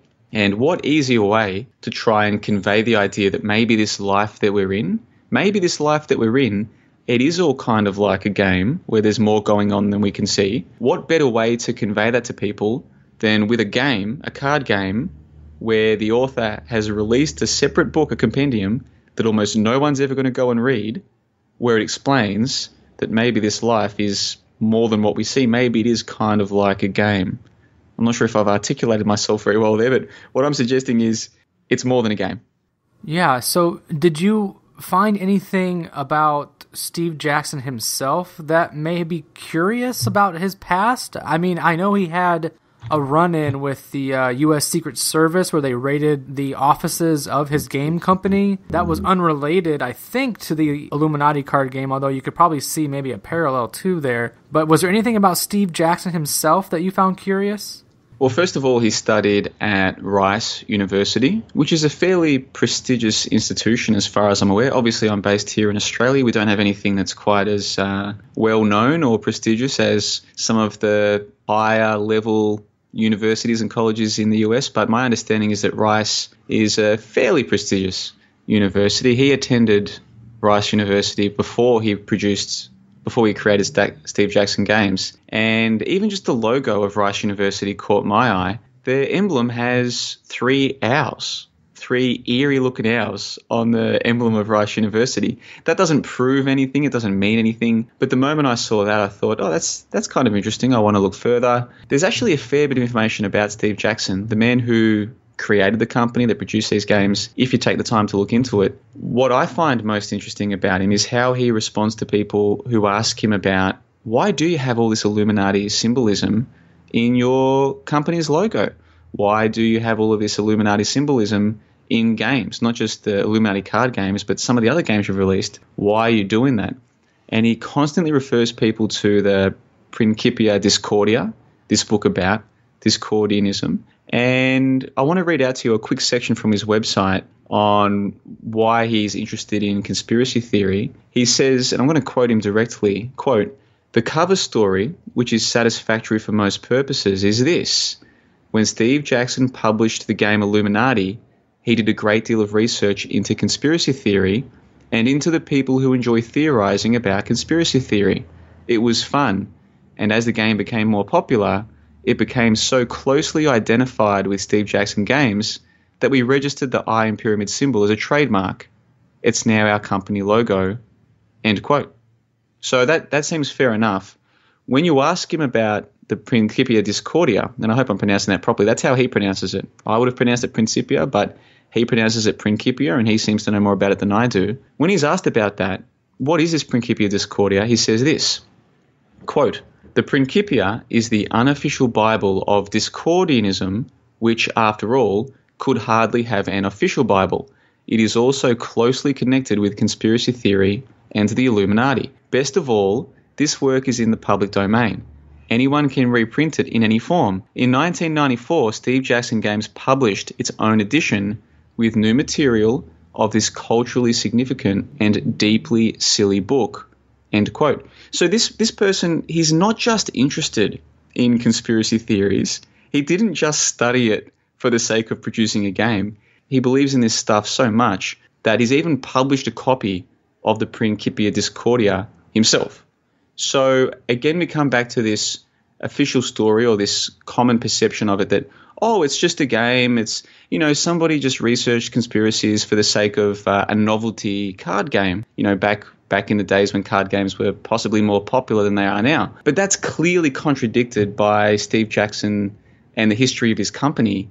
This is a man who probably knows more about the occult, probably knows more about secret teachings and this idea that there's more going on in the world than we realize. This is a man who probably understands all of that much better than even most conspiracy theorists. And so, why this is all significant to me is because I think to myself, I knew about this Illuminati card game for years. And yet, only recently did I take the time to properly engage with the game, the cards, and the accompanying book. And I think anyone who is interested in occult teaching or in what some people call conspiracy theory, they owe it to themselves to take the time to go and look into this further. Because clearly, we're not dealing with some regular dude, we're dealing with someone who knows what he's talking about. Absolutely, man. And Discordianism and the Illuminatus trilogy, and I guess even the work of Robert Anton Wilson in general, is not something that I've been able to dig into yet with anybody on this podcast. And those are topics uh, meant for another day because you could just go on forever about those. But it is an interesting connection for sure. And so I guess I should state you're in the middle of doing a, a full analysis for paying members on your website about this card game. And, you know, so thank you for sharing some of that, that information here. I'm wondering then you've obviously conducted all the research. You haven't, I don't think, released all of the articles yet. But what do you make of the game then? You know, I think you may have hinted at this in some of your answers here, but is this just Steve Jackson poking fun at conspiracy theories, or is this some sort of roadmap of future events? Like, were these sort of maybe predictive programming cards or just synchronicities? I mean, what is this? Yeah, that's a good question. So the series is a 15 part series, and I've released the first nine parts so far. And the reason why I stopped after nine parts was because I used the first half of the series as a way of exploring some of the more almost more exoteric, some of the more surface level elements to the card game, saying, well, here's some of the cards people know about. Are they really predictive programming? You know, I don't think so necessarily. I'm open minded to it. Let's look at some of the more well known cards. Now let's look at some of the cards that nobody seems to talk about but are more interesting to me. And now that we've established that this card game seems to have more going on than we realized. Now let's look at who's behind the game and what their motivations might have been. So I show people here's why I think the series is important. Here are some of my early remarks about it. Here's where you can find more. Here's the accompanying material, the books that were released by Steve Jackson Games. Here are their titles. Here's where you might go to try and find yourself a copy. And I thought after the first nine parts, that's probably enough for now. So even though I've already written the parts that are to follow, I'm not too worried about publishing them just now. I'd like to see what other people can sort of find for themselves because I find that this is oftentimes the best way to share ideas is to give people an idea of where to look and then let them come to their own conclusions, see what they can find in their own time. If I were to just to say to my audience on my website, here's what I've dug up. I've read all of the books that were released with this game. I've read all of these other companion books. I've gone and done the digging. Here's my final conclusion. Firstly, I think that would take the fun away from the whole experience. But secondly, it'd probably reduce the chance of anybody finding something that I'd missed. Whereas if I just say, guys, here's a basic idea of what I've come up with, if you guys are interested, go and look for yourself. I think that'll probably be more more productive. So that's what I'm hoping is going to happen. But if I could just give you a like a basic overview of of what I think is going on here. Steve Jackson Games is a game producing company. Okay, I think that's not just a front. I think they do produce successful games, and uh, that's what Steve Jackson does and it probably is his passion. And if you know people who are into card games, or especially people who like to write these games, that's just as much a passion for them as sport is for sports people or literature is for literature people. From what I can gather, Steve Jackson is into into games the way that he claims to be. So I think that part is legitimate. But I also think that it's natural for us as people once we begin to learn that there's more going on in this world than we thought and we find ourselves wanting to share that with others who might be open-minded to it we use the skills or the talents or the passions that we have to share it in a way that's not necessarily direct because sharing the truth or sharing controversial ideas directly is usually the easiest way to annoy people and to get yourself in trouble. So, what we can do is use our skills to do things a little bit more subtly. And I think there is more truth being conveyed by these Illuminati card games than you will find in countless hours of YouTube conspiracy videos or YouTube conspiracy podcasts or you know even even long books. I think there's more truth in this game and its accompanying material than you'll find just about anywhere else. And I suspect that Steve Jackson is using his skills in card game production to share things that he probably couldn't share any other way. That's my suspicion at the moment. But until people go and check out the cards for themselves, and then check out the uh, accompanying texts. If I were to try and say anything more than that, it'd sound even more than it already does like I had gone completely crazy. That's a fair answer, John. I appreciate your candor and your honesty there for sure. And I think that's a good note to wrap up on then. I do appreciate you being here. For people interested in more of your type of craziness, where can they find you? So I've got the website, johnlebon.com. That's J O H N L E B O N.com. And that's where I house most of my material these days. But I've still got the YouTube channel where I upload videos from time to time. And it's a good thing that I do because had I not uploaded that YouTube video concerning Bitcoin, you and I might never have had this conversation. So there's a lot of material on the website that is available completely for free, including the first few parts of the Illuminati card game analysis. So if people go and check that out and they like it, there is also the option to subscribe as well. But there's enough free material on that website now to keep people busy for a very, very, very long time. So, whether it's to do with dinosaurs or skepticism of so many of the other stories or narratives that we as people take for granted, there's a heap of material there. And fortunately for me, there's also a small but growing number of people who contribute financially to the website, which allows me to put as much time into it as I do. But I have to say a huge thanks to you, Ryan, for putting out the uh, invitation to come onto the show. It's very different experience on this side of the microphone to your side of the microphone, and I've conducted literally dozens and dozens of interviews myself over the years. but uh, this is only the second or third time that I've been the one answering the questions. So a big thanks to the audience if they've forgiven me for some of our hiccups during the show, but I've really enjoyed the experience. And like I said, I've been looking forward to this all week. So it's been an absolute privilege, a huge honor. Thank you very much. And hopefully, if the feedback to this one is good, we can do it again sometime soon. Yeah, absolutely. There's a lot more that uh, we could talk about that we haven't even mentioned here. So I do look forward to round two for sure. Well, thank you very much. I appreciate it. And to uh, all of your listeners, I wish them all the best for 2018 and beyond.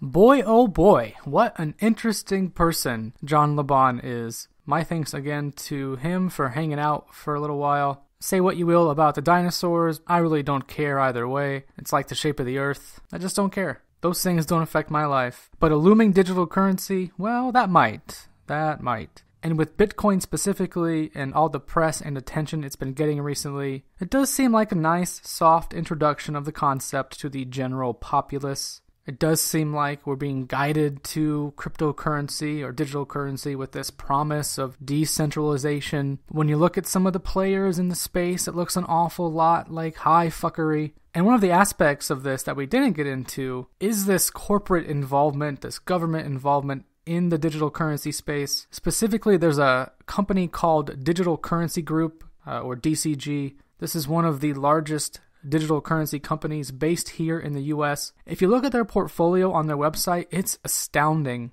They're the company behind Coinbase, one of the largest exchanges online, and also the popular app called Blockchain, which allows you to manage your crypto wallets. And the curious things about DCG are their largest investor is MasterCard, and they used the MasterCard funding to create Blockstream, which is the biggest provider of blockchain technology. After that initial MasterCard investment, this insurance and financial firm in Paris called AXA then invested $55 million into Blockstream. At the time of that investment, AXA's chairman and CEO was this guy called Henri de Castries, who was also chairman of the Bilderberg Group. Pretty interesting, huh? Now, DCG's board members include Glenn Hutchins, who also serves on the board of the following companies and organizations: AT&T, Nasdaq, the Federal Reserve Bank of New York, a DC think tank known as the Brookings Institution,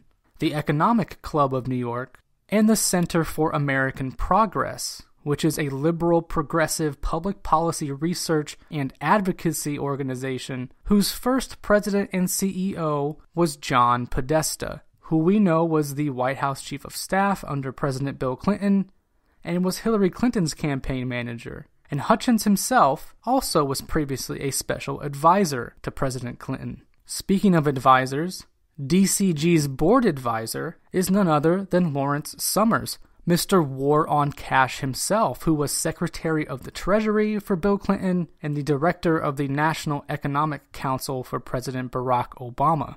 So let's pair all of this with the story of Bitcoin creator Satoshi Nakamoto, who by most accounts doesn't exist, the use of NSA cryptography, and the recording of all transactions in a public ledger, and we may be looking at a financial and economic trend that, again, isn't quite organic. Now, before some of you lose your shit on me, yes, I do accept donations in three different forms of cryptocurrency, including Bitcoin, but I also accept donations in US dollars, which I'm also not a fan of. But how the hell are you supposed to get ahead in this game? I mean, on some level, you have to play along, you're forced to, and right now, Bitcoin and others look really sexy to a lot of people. But I think John and I got onto something with the possible future regulations that could be put on cryptocurrency and if you think that's not on the radar, all you have to do is search for the term FedCoin. You could also search for the term Utility Settlement Coin, which is backed by the Swiss bank UBS and Deutsche Bank. You could also consider the idea put forth by folks like Mark Zuckerberg and Elon Musk of a universal basic income. And you can begin to see how digital currency could be a way to implement such a system. And my concern here that I tossed out to John is if this kind of thing does become regulated, if official currency becomes digital, and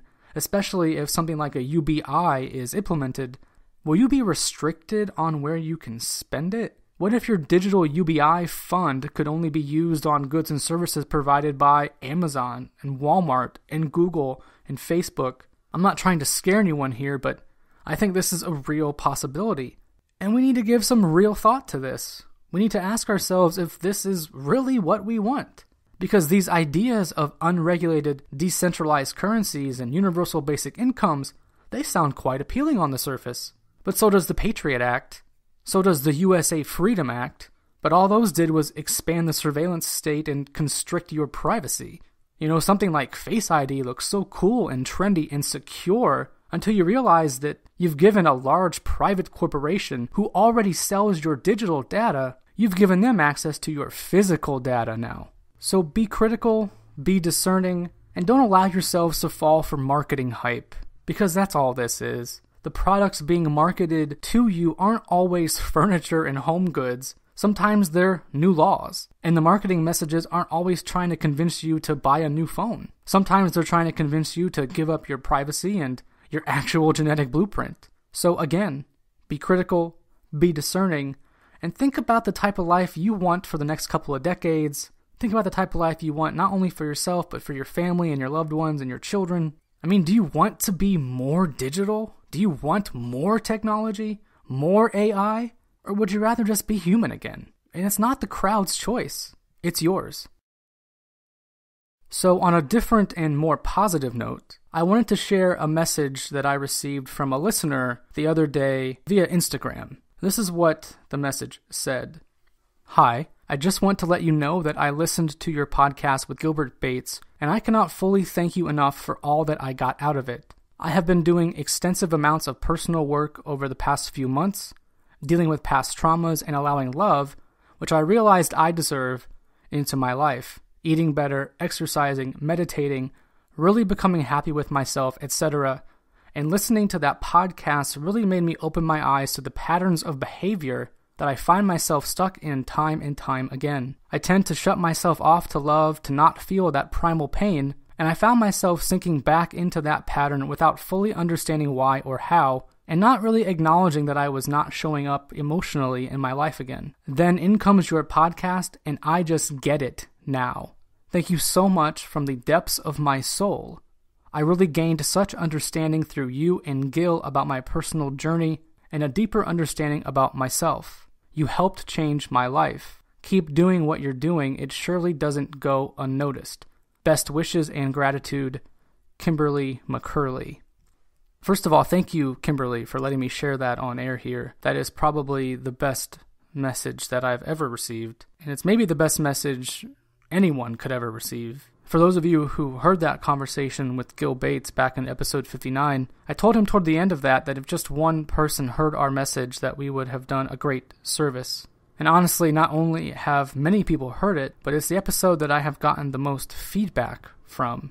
Well, I guess if you don't count random YouTube comments, which tend to be 75% childish bickering and complaining and 25% genuine. I'm talking more about direct personal feedback, messages like this, you know, DMs, emails, which is ironic to me because by comparison, that episode with Gil is middle of the road in terms of downloads and YouTube views. It seems like the more popular episodes, at least by topic, are the more provocative ones with guests like SMQ.ai, where we talked about the Mandela effect, or Tracy Twyman back in episode 58 with QAnon and Plus Ultra and all the ideas in Genuflect. And I reckon this chat with John le Bon here will be in that same group. And if you want folks to notice you, you do have to offer up shows like that, of the more provocative type. You know, the reason you talk to people like SMQ and Tracy and John about these sorts of topics is you hope people who discover you at those points will choose to stick around to hear you talk to people like Gil.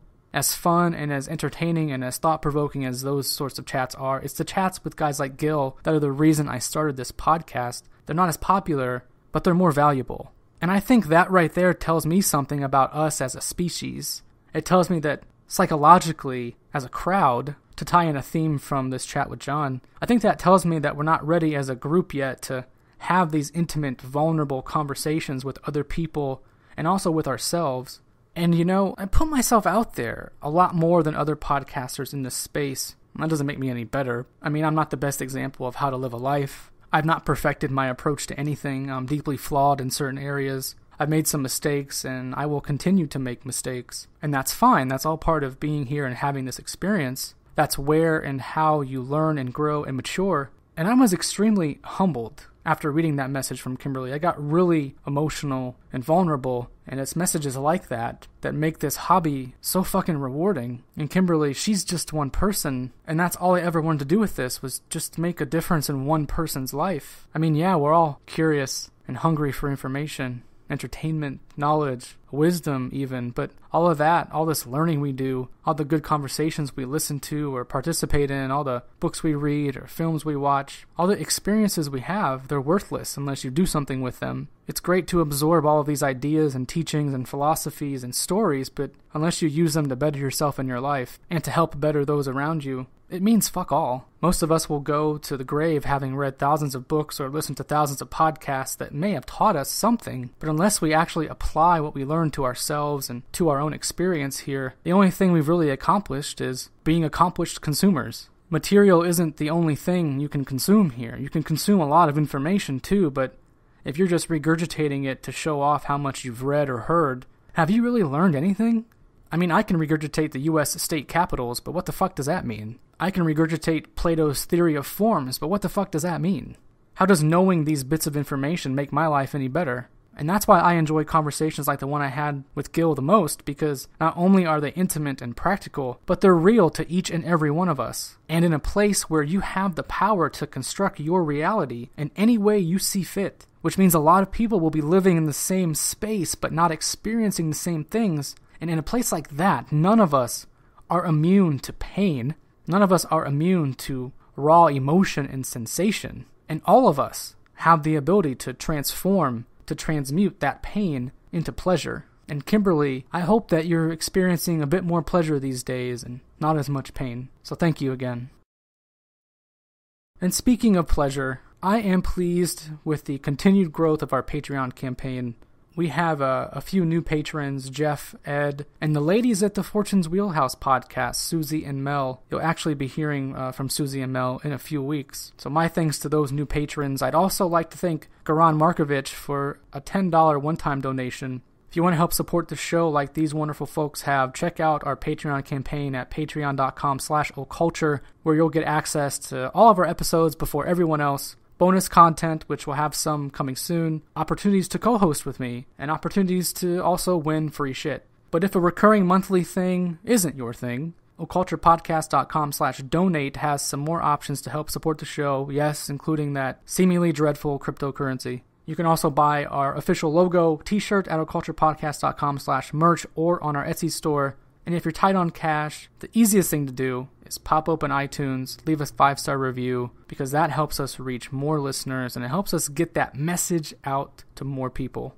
And that's all the gratuitous marketing plugs I have for myself this week, which means it's time for me to go check on my Bitcoin wallet. Until next time, you've just been initiated into Occulture. I am Ryan Peverly reminding you to love yourself, think for yourself, and question authority. Please